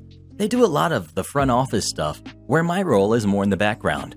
I could do my job no problem going in only once a week, but their role really does need to be on site while people are there. I believe they had asked to do some days at home or half days at home. That would work if HR had let them. 3. It seems from what I have gathered, only two people were granted remote accommodations. One person I know has some complicated medical issues, so that made sense to me. Most people asking for flexibility have roles that, like mine, don't necessitate being on site. I was told that my requested accommodation would be unfair because everyone needs to be treated equally, and I get that, except most work with clients and I don't. My role is completely internal support. There are others like me who do back end stuff or support in other ways who were denied what I consider minor accommodations in the spirit of fairness, but would make life a million times easier. My new neighbor thinks she can park anywhere. This is currently happening, and my significant other is witnessing it and texting me it while I'm at work. I had a new neighbor move into my building, and she left notes on everyone's doors saying that she had bought the building and gave us insane rules to follow. She does not own the building, but only a unit or apartment. Jury is still out if she is insane or stupid. She's been quiet for the last few days, and I thought maybe that was it. Apparently, I was wrong. So each unit in our building is allocated one parking spot, just one. I park in mine, and my significant other parks his car on the street on the other side of the building. Our parking lot has one visitor space. It's a very small parking lot, six spots for residents and one for a visitor. The visitor spot is nearly always empty, and my neighbors have said my significant other could park his car there if he wanted to, as we are the only unit with two cars, but he doesn't mind parking where he is. This morning, my significant other woke up to yelling. Our kitchen window overlooks the parking lot, and he snuck a peek out the window and saw entitled neighbors standing next to our nice neighbor's car, and they were arguing loudly. She kept yelling that she had a second car and needed to park in his spot, and he had to move his car or else she would have it towed. He kept repeating that it was his parking spot, and she could either park it in the visitor spot or on the street, and if she towed his car, he would report it as stolen. Significant other said she kept yelling that she can park wherever she wants to, and he needed to move it or else. So my significant other decided to park his car in my empty spot in case she tried to park there while I'm at work. Last message he sent me, she had stormed upstairs in a huff and slammed the door. Update. I got home from work and she has parked her second car in the visitor spot, but she's parked it so badly it's blocking the driveway in. Right now, I'm parked on the street, but too tired to deal with her. Update 2. So, like I said before, her car was basically blocking the driveway and I had to park on the street. Anyway, when I got up for work the next day, it was still there, but when I came home, it was gone. I asked my significant other as he was at home, and apparently a tow truck came and took it away. I'm still not sure which neighbor called the tow truck, but I have a suspicion it's the one she was arguing with. Significant other said she has been quiet all day, only the odd footsteps. Am I the jerk for letting my fiance fend for himself after he constantly compared me to his mom? My fiance had a heart attack and required an open heart surgery two weeks ago. He just got home a few days ago and I'm caring for him. A little backstory. His mom and I don't have a good relationship. Since the beginning of my relationship to my fiance, his mom would constantly try to compete with me and one-up me on everything. She always claimed she should be the first woman in my fiance's life because she birthed and raised him and how I can't break their bond. For the most part, these comments were unprovoked, and at first, I would be too scared to defend myself. But later, I stood up for myself, and my fiance stood up for me and established some boundaries with his mom. His mom sometimes crosses some of those boundaries, but for the most part, she's been acting a bit better. During his stay in the hospital, both I and his mom took turns staying with him.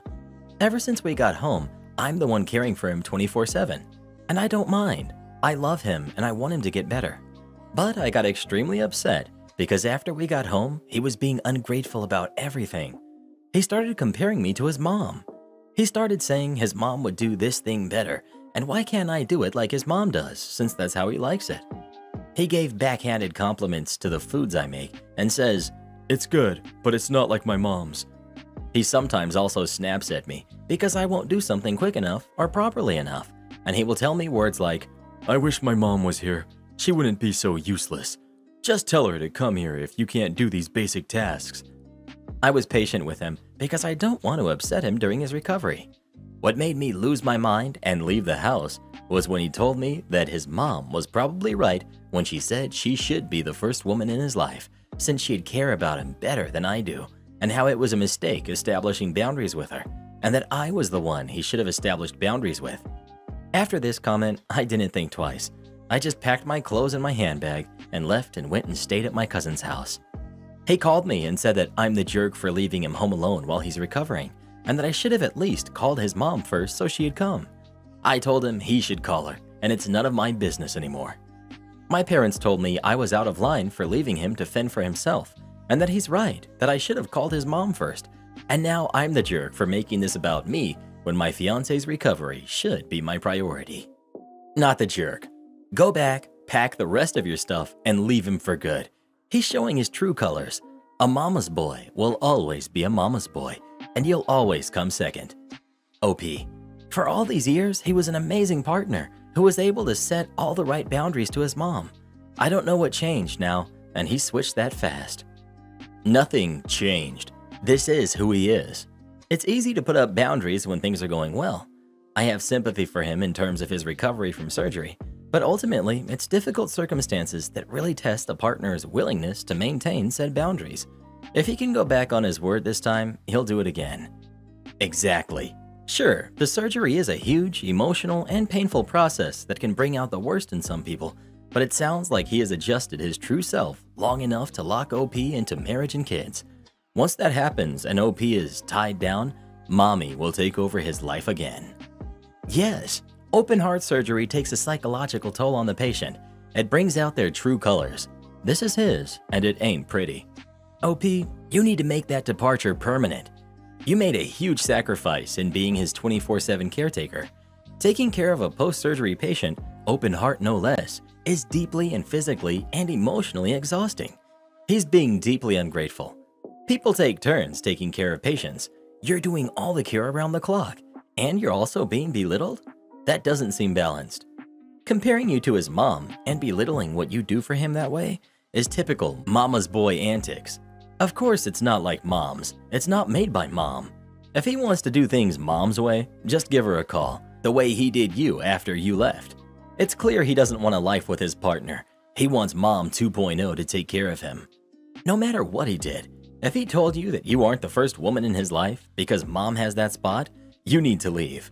Yes, mommy raised him, but when he's an engaged man, his life partner takes priority. This is his way of telling you that he will always choose his mom over you and you're second no matter the circumstances. Do you want to spend the rest of your life with him? Not the jerk. Also, run. Call off the wedding. He can marry his mom since he doesn't get the difference between wife and mother. OP, Oh, trust me, he gets the difference. He just wanted to switch it to his benefit each time. All these years, his mom was useless to him, so he was perfectly fine setting boundaries with her. Suddenly, he started missing the mommy care and switched me to be the bad guy because I was not an exact copy of his mom. Well, who do you think is the jerk? OP or her husband? Please let us know. If Reddit boy was a mama's boy, he'd need a new head.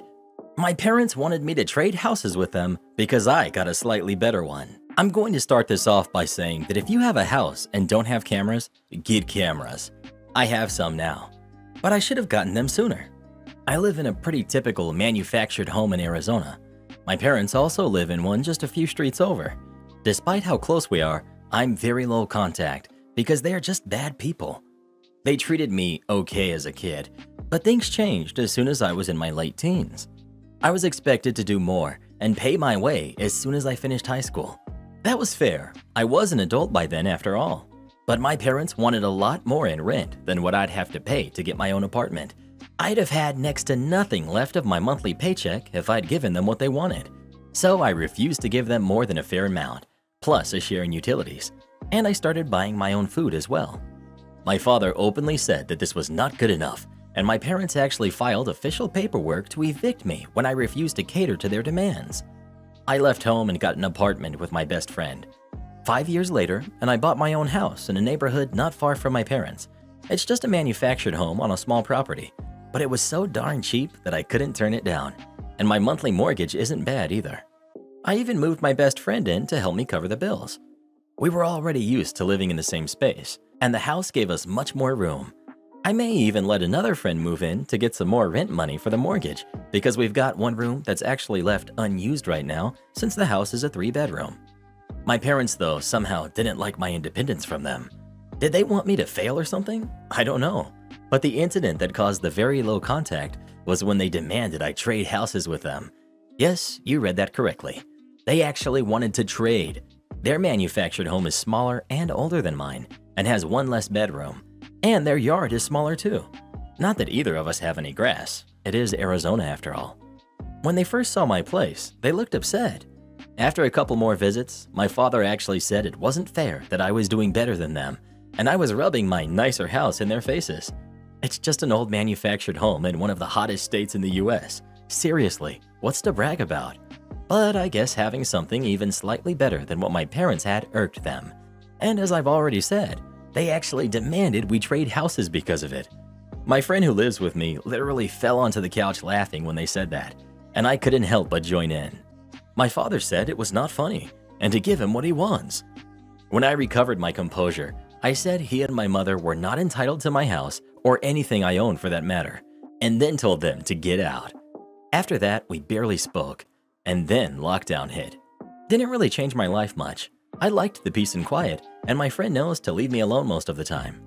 My father, however, got laid off, and he struggled to find another job. He ended up working in the local Marto Walls for half a year before getting a better paying job. I did get a kick out of seeing him there when I was shopping for groceries, but as much as I hate him, I'm not going to call him a bad employee. He actually did fine. But during that time, he and my mother kept calling me and asking for money. And I know what y'all are thinking. Don't lend them anything.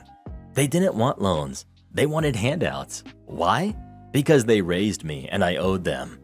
I said if they didn't want the cost of raising a kid, they shouldn't have had one. A few weeks ago, though, my mother called me begging for money because their dinosaur of a window AC unit finally crapped out.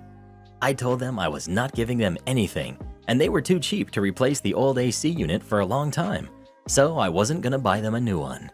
My mother then complained about how I have two in my house, and the least I could do is give them one. I then said that if she and my father weren't always throwing away their money on beer and other stuff all the time, they'd have the money to buy another AC. Then I said I wasn't giving them one of mine or any money. End of story. Only it wasn't the end of the story. A few days later, I came home from work, find my house had been broken into. My front door locks were drilled out, and both of my window AC units were gone. Nothing else was stolen, but they went out of their way to make a huge mess for some stupid reason. Probably to make it look like a typical robbery or something. I knew it had to have been my parents, and I called the police. I told the police that I heavily suspected my parents of the theft because they act entitled to my stuff, even though I'm a grown man that doesn't live with them. I went with the police to my parents' house, and sure enough, they had both my AC units going in their windows. When confronted, my parents obviously denied the theft. They claimed they already owned the AC units, but statements from their neighbors say otherwise. But my parents still denied the theft. I'd bought both AC units used online years ago, which means I had no receipts for them. So I figured my only option was to look for witnesses in my own neighborhood. And as luck would have it, a neighbor across the street has security cameras, and the edge of one of them caught just enough to see my parents showing up in my father's truck. My father could be seen walking with a cordless power drill in hand, and a few minutes later, they came back to the truck with my AC units, then went back in to ransack the place, I'm guessing. With this evidence in hand, police had cause to arrest my parents. At first, both of them acted like they had done nothing wrong, but I convinced police to let me do the talking. I said they could either return the AC units to my home and clean up the mess they made, or I'd let the police arrest them both right there. They'd already stolen from me, lied to the police, trespassed, vandalized my house, broken my front door locks, and there was video evidence of what they had done. If I pressed charges, they were both going to jail for sure. My parents looked deflated, then asked for a moment to talk with each other in their room. I heard a lot of shouting from both of them, and I could hear my mother yelling that my father was an idiot, and he was trying to blame me in turn. After about five minutes of that, they came back out looking even more deflated and said they'll return the AC units and stop bothering me for money if I didn't press charges. I said they were going to clean up the mess in my house and buy new locks for my front door as well, and then I wanted written apologies from both of them on top of it. They begrudgingly agreed and even got a police escort back to my house. My father was forced to put the AC units back in my windows and then left my mother to clean up the huge mess they made while he went out and bought replacement locks for my front door. He was gone about an hour and came back with a new stainless steel lock set to replace the knob and deadbolt. Then he had to help my mother finish cleaning. During this time, I let the two cops just sit and watch them while drinking soda. They said it was very entertaining. After everything was cleaned up, I gave my parents each a piece of paper and a pencil then told them to write out apologies to me for what they had done. My father looked especially upset and said I was treating him like a kid. I said he was acting like one and never stopped treating me like one either. This was just me holding him accountable, and I could have sent him to jail, but I felt like this was better for teaching him a lesson. He then kind of snorted and started writing. My mother wrote out a good apology, but my father's was a pretty half attempt and passive aggressive, but I didn't care. It seemed to really get to him inside having to do it, and when he was done, he left without speaking to me. My mother said she was sorry and she'd leave me alone, then followed after him. The two cops said they thought the whole thing was hilarious and then thanked me for giving them an excuse to take a break while on the job before leaving. Not long after, I shelled out to get some cameras for the exterior of my house, so if someone tries to break in again, I'll get it on video.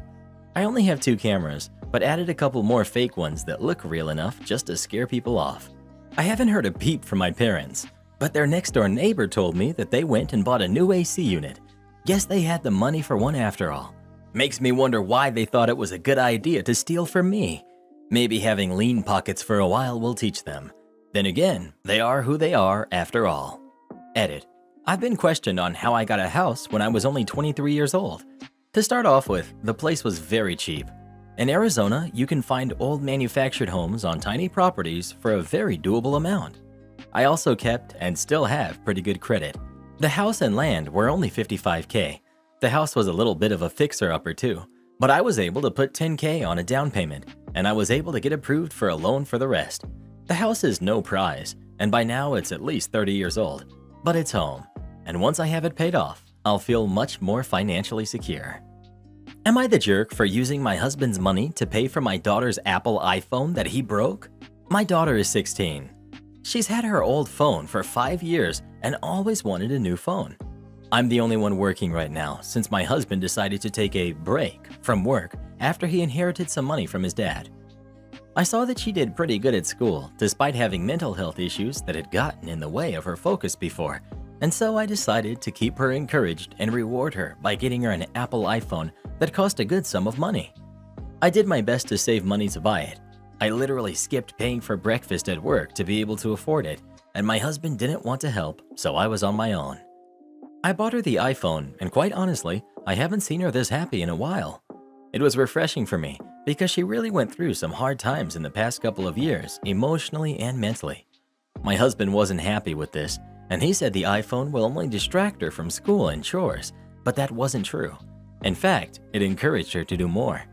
But he still said I shouldn't have spent that kind of money on an iPhone that she might be irresponsible with and break. My daughter picked up on his attitude towards the iPhone, but I told her to ignore him. Days ago, I found out that he broke the iPhone. I asked why, and he said he had asked her to get him something from the toolbox in the garage, but she was on the iPhone and ignored him. He used this incident as evidence that the iPhone was a bad influence, but I yelled at him and demanded he replace it. He said he wouldn't, so I took money out of his account and paid for a new iPhone and gave it to my daughter. He saw what I did and went off on me, calling me names, and accused me of stealing his father's money and demanded the money I took, every single penny back. I basically told him it won't happen. He got his mother on me, saying I'm setting a terrible example for my daughter by getting her a phone paid for with money that I stole from her dad. My husband said he won't speak a word to me until I fix this, but I already said I owe him nothing. Am I the jerk for this? ETA. No, he's her biological father, not stepdad. And price for the iPhone where I live is $1,000 and it's not cheap. Finding out that I took $1,000 out of his inheritance really got him so furious that he said I was the worst woman he met in his life.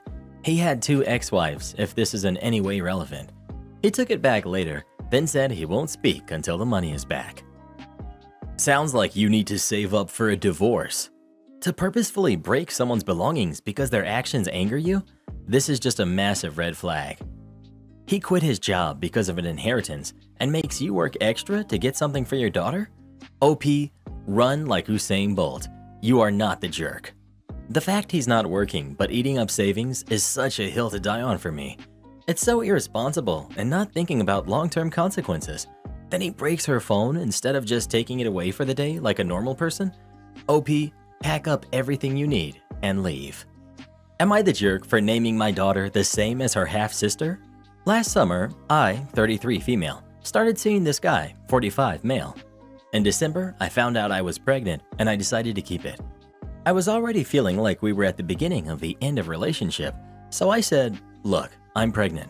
I've made this decision, but it's up to you if you want to be involved, and it's okay if you want to bail. I have the resources to do this alone. He said a baby wasn't something he wanted, and I said that's totally fine. I won't even put your name down on the birth certificate. We can treat this like a donor situation. He agreed. After that, he predictably started pulling away and we broke up. Three months post breakup, when I was six and a half months pregnant, this woman DMs me and says, Hey, were you getting with my husband until recently? It turns out that he had a wife and a daughter. His wife was, slash is, in the process of getting a divorce from him and gathering evidence of what turned out to be a wild amount of cheating. So she was relatively cordial and believed me when I said I had no clue. Even before we had broken up, I told him that if it was a girl, I wanted to name her Samantha. Samantha isn't the actual name, but it's a similar, long, girly name with multiple nicknames. It was my sister's name before she passed, and even before that, it was a name I loved for aesthetic reasons. We always talked about naming our daughters after one another before she passed. He expressed dislike, but I jokingly, but not really, said it wasn't really his decision. After everything came out in the open, I found out that the reason he was so against the name was because his daughter is named Samantha. Now that everything is out in the open, he said, So what are you going to name her? And I said, What do you mean? I already told you, Samantha. And he said, You can't do that. That's my other daughter's name. I said that he lost naming privileges a long time ago and if anyone asked, I was happy to make it clear that I had been the one to pick the name. I also reminded him that I still wasn't obligating him to be involved in this in any way. And given how he had lied, I frankly didn't want him to be. But if and when he chose to be involved, I was going to hold him to it and expect child support, visitation, etc. Which, from his point of view, is non ideal because he doesn't want the responsibility of care, and especially doesn't want the responsibility of child support and asset splitting. Rather, he wants to have his cake and eat it too. I take on all the responsibility. There's no paternity test, a blank father's name on the birth certificate, but he still gets to have opinions, which frankly suits me as well because I don't want to be legally tied to him. But when I told my friend, she said that while he didn't deserve any courtesy, it was an unkind thing to do to his daughter. How do you think your daughter is going to feel when she finds out she has an older half sister with the same name? and she will find out. There are currently around 50 comments, and as far as I can tell, this is the only one that mentions how the OP's future daughter might feel in the future. Surely, that should be one of the first considerations. It seems like that could be covered by, it was my late sister's name, who meant a lot to me, and I chose it before I knew about your donor's other family. Right? Tell her early that she's named after her late aunt, and her half sister having the same name is a funny coincidence. Assuming the real name is equally as common as Samantha, she's going to know at least a few at school anyway. Well, what do you think? Should OP go ahead and name her daughter Samantha or not? Please let us know. I might get downvoted for this, but I think it's her choice what she wants to name her baby. That deadbeat doesn't have a say in anything. Am I the jerk for letting my husband's ex struggle when I could technically pay? My husband, B, who's 36, and his ex, K, who's 34, Share two kids who are ages 16 and 14. Split custody 50 50. No monthly child support, but B pays all insurance, medical costs, extracurriculars, and has to put $150 each in a college fund each month. I have a 16 year old myself. B made a base income, but got bonuses and commissions. On commission checks, he would send K 50% of it. On bonuses, he would send K 35%. This was not court ordered, but very regular. Well, B was in a wreck. Couldn't work five months, got fired. Legal, called lawyer. Took three months to find another job that could cater to his new disabilities, but took a huge pay cut and no more bonuses or commission. I paid all bills, plus his child obligations, even the average sum of what he sent K extra per month during this time. After realizing his pay wouldn't recover, we talked to Kay and told her that we can no longer afford to send her extra as we weren't making it. She seemed to understand. During this time period, my kid turned 16 and saved up $4,000 for a car. I've always promised to match whatever they save. This money was already put away. We got a car for 6K. My kid pays her own insurance and gas. B's 16 year old saw and somehow got Kay to lease her a car in fairness. Kay did not consult us about it. The next month, she hits us up for money. After some discussion, she assumed we'd figured out the money after seeing us buy my 16 year old a car. We explained that's not the case, but she got so angry, losing it on us, and ended up taking us to court for child support. The court determined that Kay makes significantly more than B, and she needs to pay $300 a month in child support and reimburse insurance. Her past income did not matter since he is now considered disabled. It's been about three months since, and Kay's entire family is blowing us up telling us how horrible and evil we are, that Kay is being threatened with eviction and B's 16 year old car is being repoed. They say it's my fault because Kay only leased it since she expected us to keep paying, that her paying child support means she can't afford her car, and I'm spoiling my 16 year old playing favorites. Kay also says that my income plays a role since the kids live with me 50% of the time, so I'm horrible to deprive the kids. This makes me feel horrible. Am I the jerk here? I could pay, but I would not be able to save since I'm paying more since B makes way less. Not the jerk. Spouses have nothing to do with financial responsibility of a kid. The biological parents are responsible for child support, point blank. And it's her own darn fault for assuming anything. Honestly, your husband was more than generous before the accident. Like, really. Had it been me, my ex would not have seen any of my bonus or commissions. She did herself over in taking y'all to court, she made her bed, let her lay in it. She sounds very greedy and entitled to me. And y'all are doing 50 50. She's lucky she saw anything. I'm honestly shocked. Not the jerk. No good deed goes unpunished. B should never have been so generous. Of course, that is neither here nor there. Bottom line, this is not your responsibility. This is also none of Kay's family's business. They don't get a vote. Block them. I just love the fact that Kay was losing it on you and taking B to court and yet she gets stuck paying child support. Wow, nothing like Schadenfreude. Disconnect your guilt button. You have nothing to feel guilty about or horrible about. Kay brought this on herself. You should not have to suffer. Am I the jerk for expecting my pregnant girlfriend to apologize to my mom after rejecting her food? My girlfriend is 39 weeks pregnant, and my mom has come to town to stay with us so we have someone to take care of our three year old and cats when we go to the hospital. My girlfriend and mom usually get along, so it was a good idea.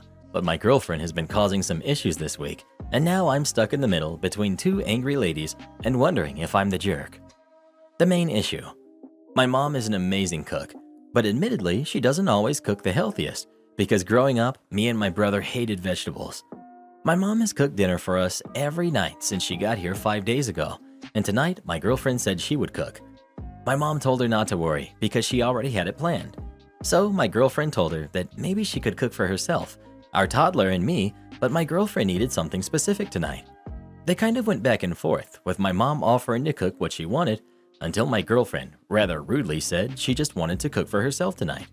My mom is extremely offended and hurt, and my girlfriend is upset because she says she needs certain nutrients and foods right now, and she can't let being polite get in the way of maintaining a healthy diet.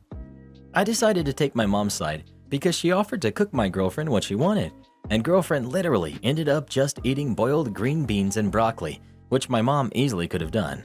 Plus, the baby is already grown, and she takes prenatal vitamins every day, so I felt she was being a bit dramatic. I told my girlfriend I expect her to apologize to my mom, and she told me I'm being a jerk and need to butt out. Am I the jerk? You're the jerk. The baby isn't fully grown, for starters, Babies rely on the energy and nutrients mom provides until they are out of the womb and the cord is cut. Then they get it via milk and formula. Just because she's taking prenatal vitamins doesn't mean it's all good. Secondly, you have zero ideas about the cravings of a pregnant woman. She wanted healthy food, which is her body telling her that's what she needs at that moment in time. Having a baby takes a massive toll on the body. If she wants to cook herself veggies, let her have all the veggies. She clearly tried to be polite to your mother and then she got snapped. Your girlfriend is full of hormones, emotions, about to give birth, and your baby. Worst of all, you sided with your mother over your girlfriend, aka the mother of your kid. What kind of jerk move is that? Are you looking to sleep on the couch for eternity? You, sir, need to get your priorities in order. Apologize to your girlfriend and ask your mother to chill with the pushiness. Your mother obviously means well, but she needs to stay in her lane and respect your very pregnant girlfriend's wishes when it comes to what she wants to eat. Entitled Mom demands I invite her kids to a party that's not even a party. So, some backstory. My brother is an ER doctor, and his husband an ER nurse, so they both work long hours throughout the week. They have twins, we will call them Anne and Ken, not their real names, just the first to pop in my head. Now, because of their workload, me and my sister help throughout the week by taking the kids after school a few days a week. I have them on Mondays, Wednesdays, and Fridays. Well, Friday happens to be my niece and nephew's birthday. Now, due to lockdown, we can't have a big party that they're used to, but I still wanted to make it special. My niece and nephew had become friends with two kids in the building, Sarah and Blake, again, fake names. Their mother, we will call Nice Neighbor. I had become friends with her. Now, every time my niece and nephew are over, they play with Sarah and Blake.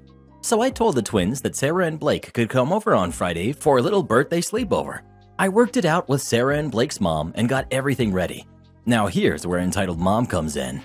As I was coming in the building, Entitled Mom ran up to me. So, you're having a party tonight? Me. What? No. Sarah and Blake told my kids that they were going to your niece's party at your apartment. Me. It's not a party. It's my niece and nephew's birthday, so I told them they could have Sarah and Blake over to watch movies. Well, my kids are upset that they weren't invited. Me. Sorry, but like I said, it's not a party. Just my niece and nephew having friends over. My kids would love a sleepover. Me. Oh, well then maybe you should throw one. You could be nice and invite them. It's not nice to leave kids out. Me. I don't even know your kids. Sarah and Blake have been friends with my niece and nephew for going on three years. Well, they can always get to know each other at the party. No, my niece doesn't like strange people. I'm your neighbor. I'm not strange. You tried to break into my apartment a few days ago. You're being overly dramatic. And you're being crazy. Well, that's rude. I rolled my eyes and walked away before she could say anything else. Support our channel by joining as a member today, and we'll give you a shout out in our next video. Or come watch this video next. You won't believe what Karen does in that one.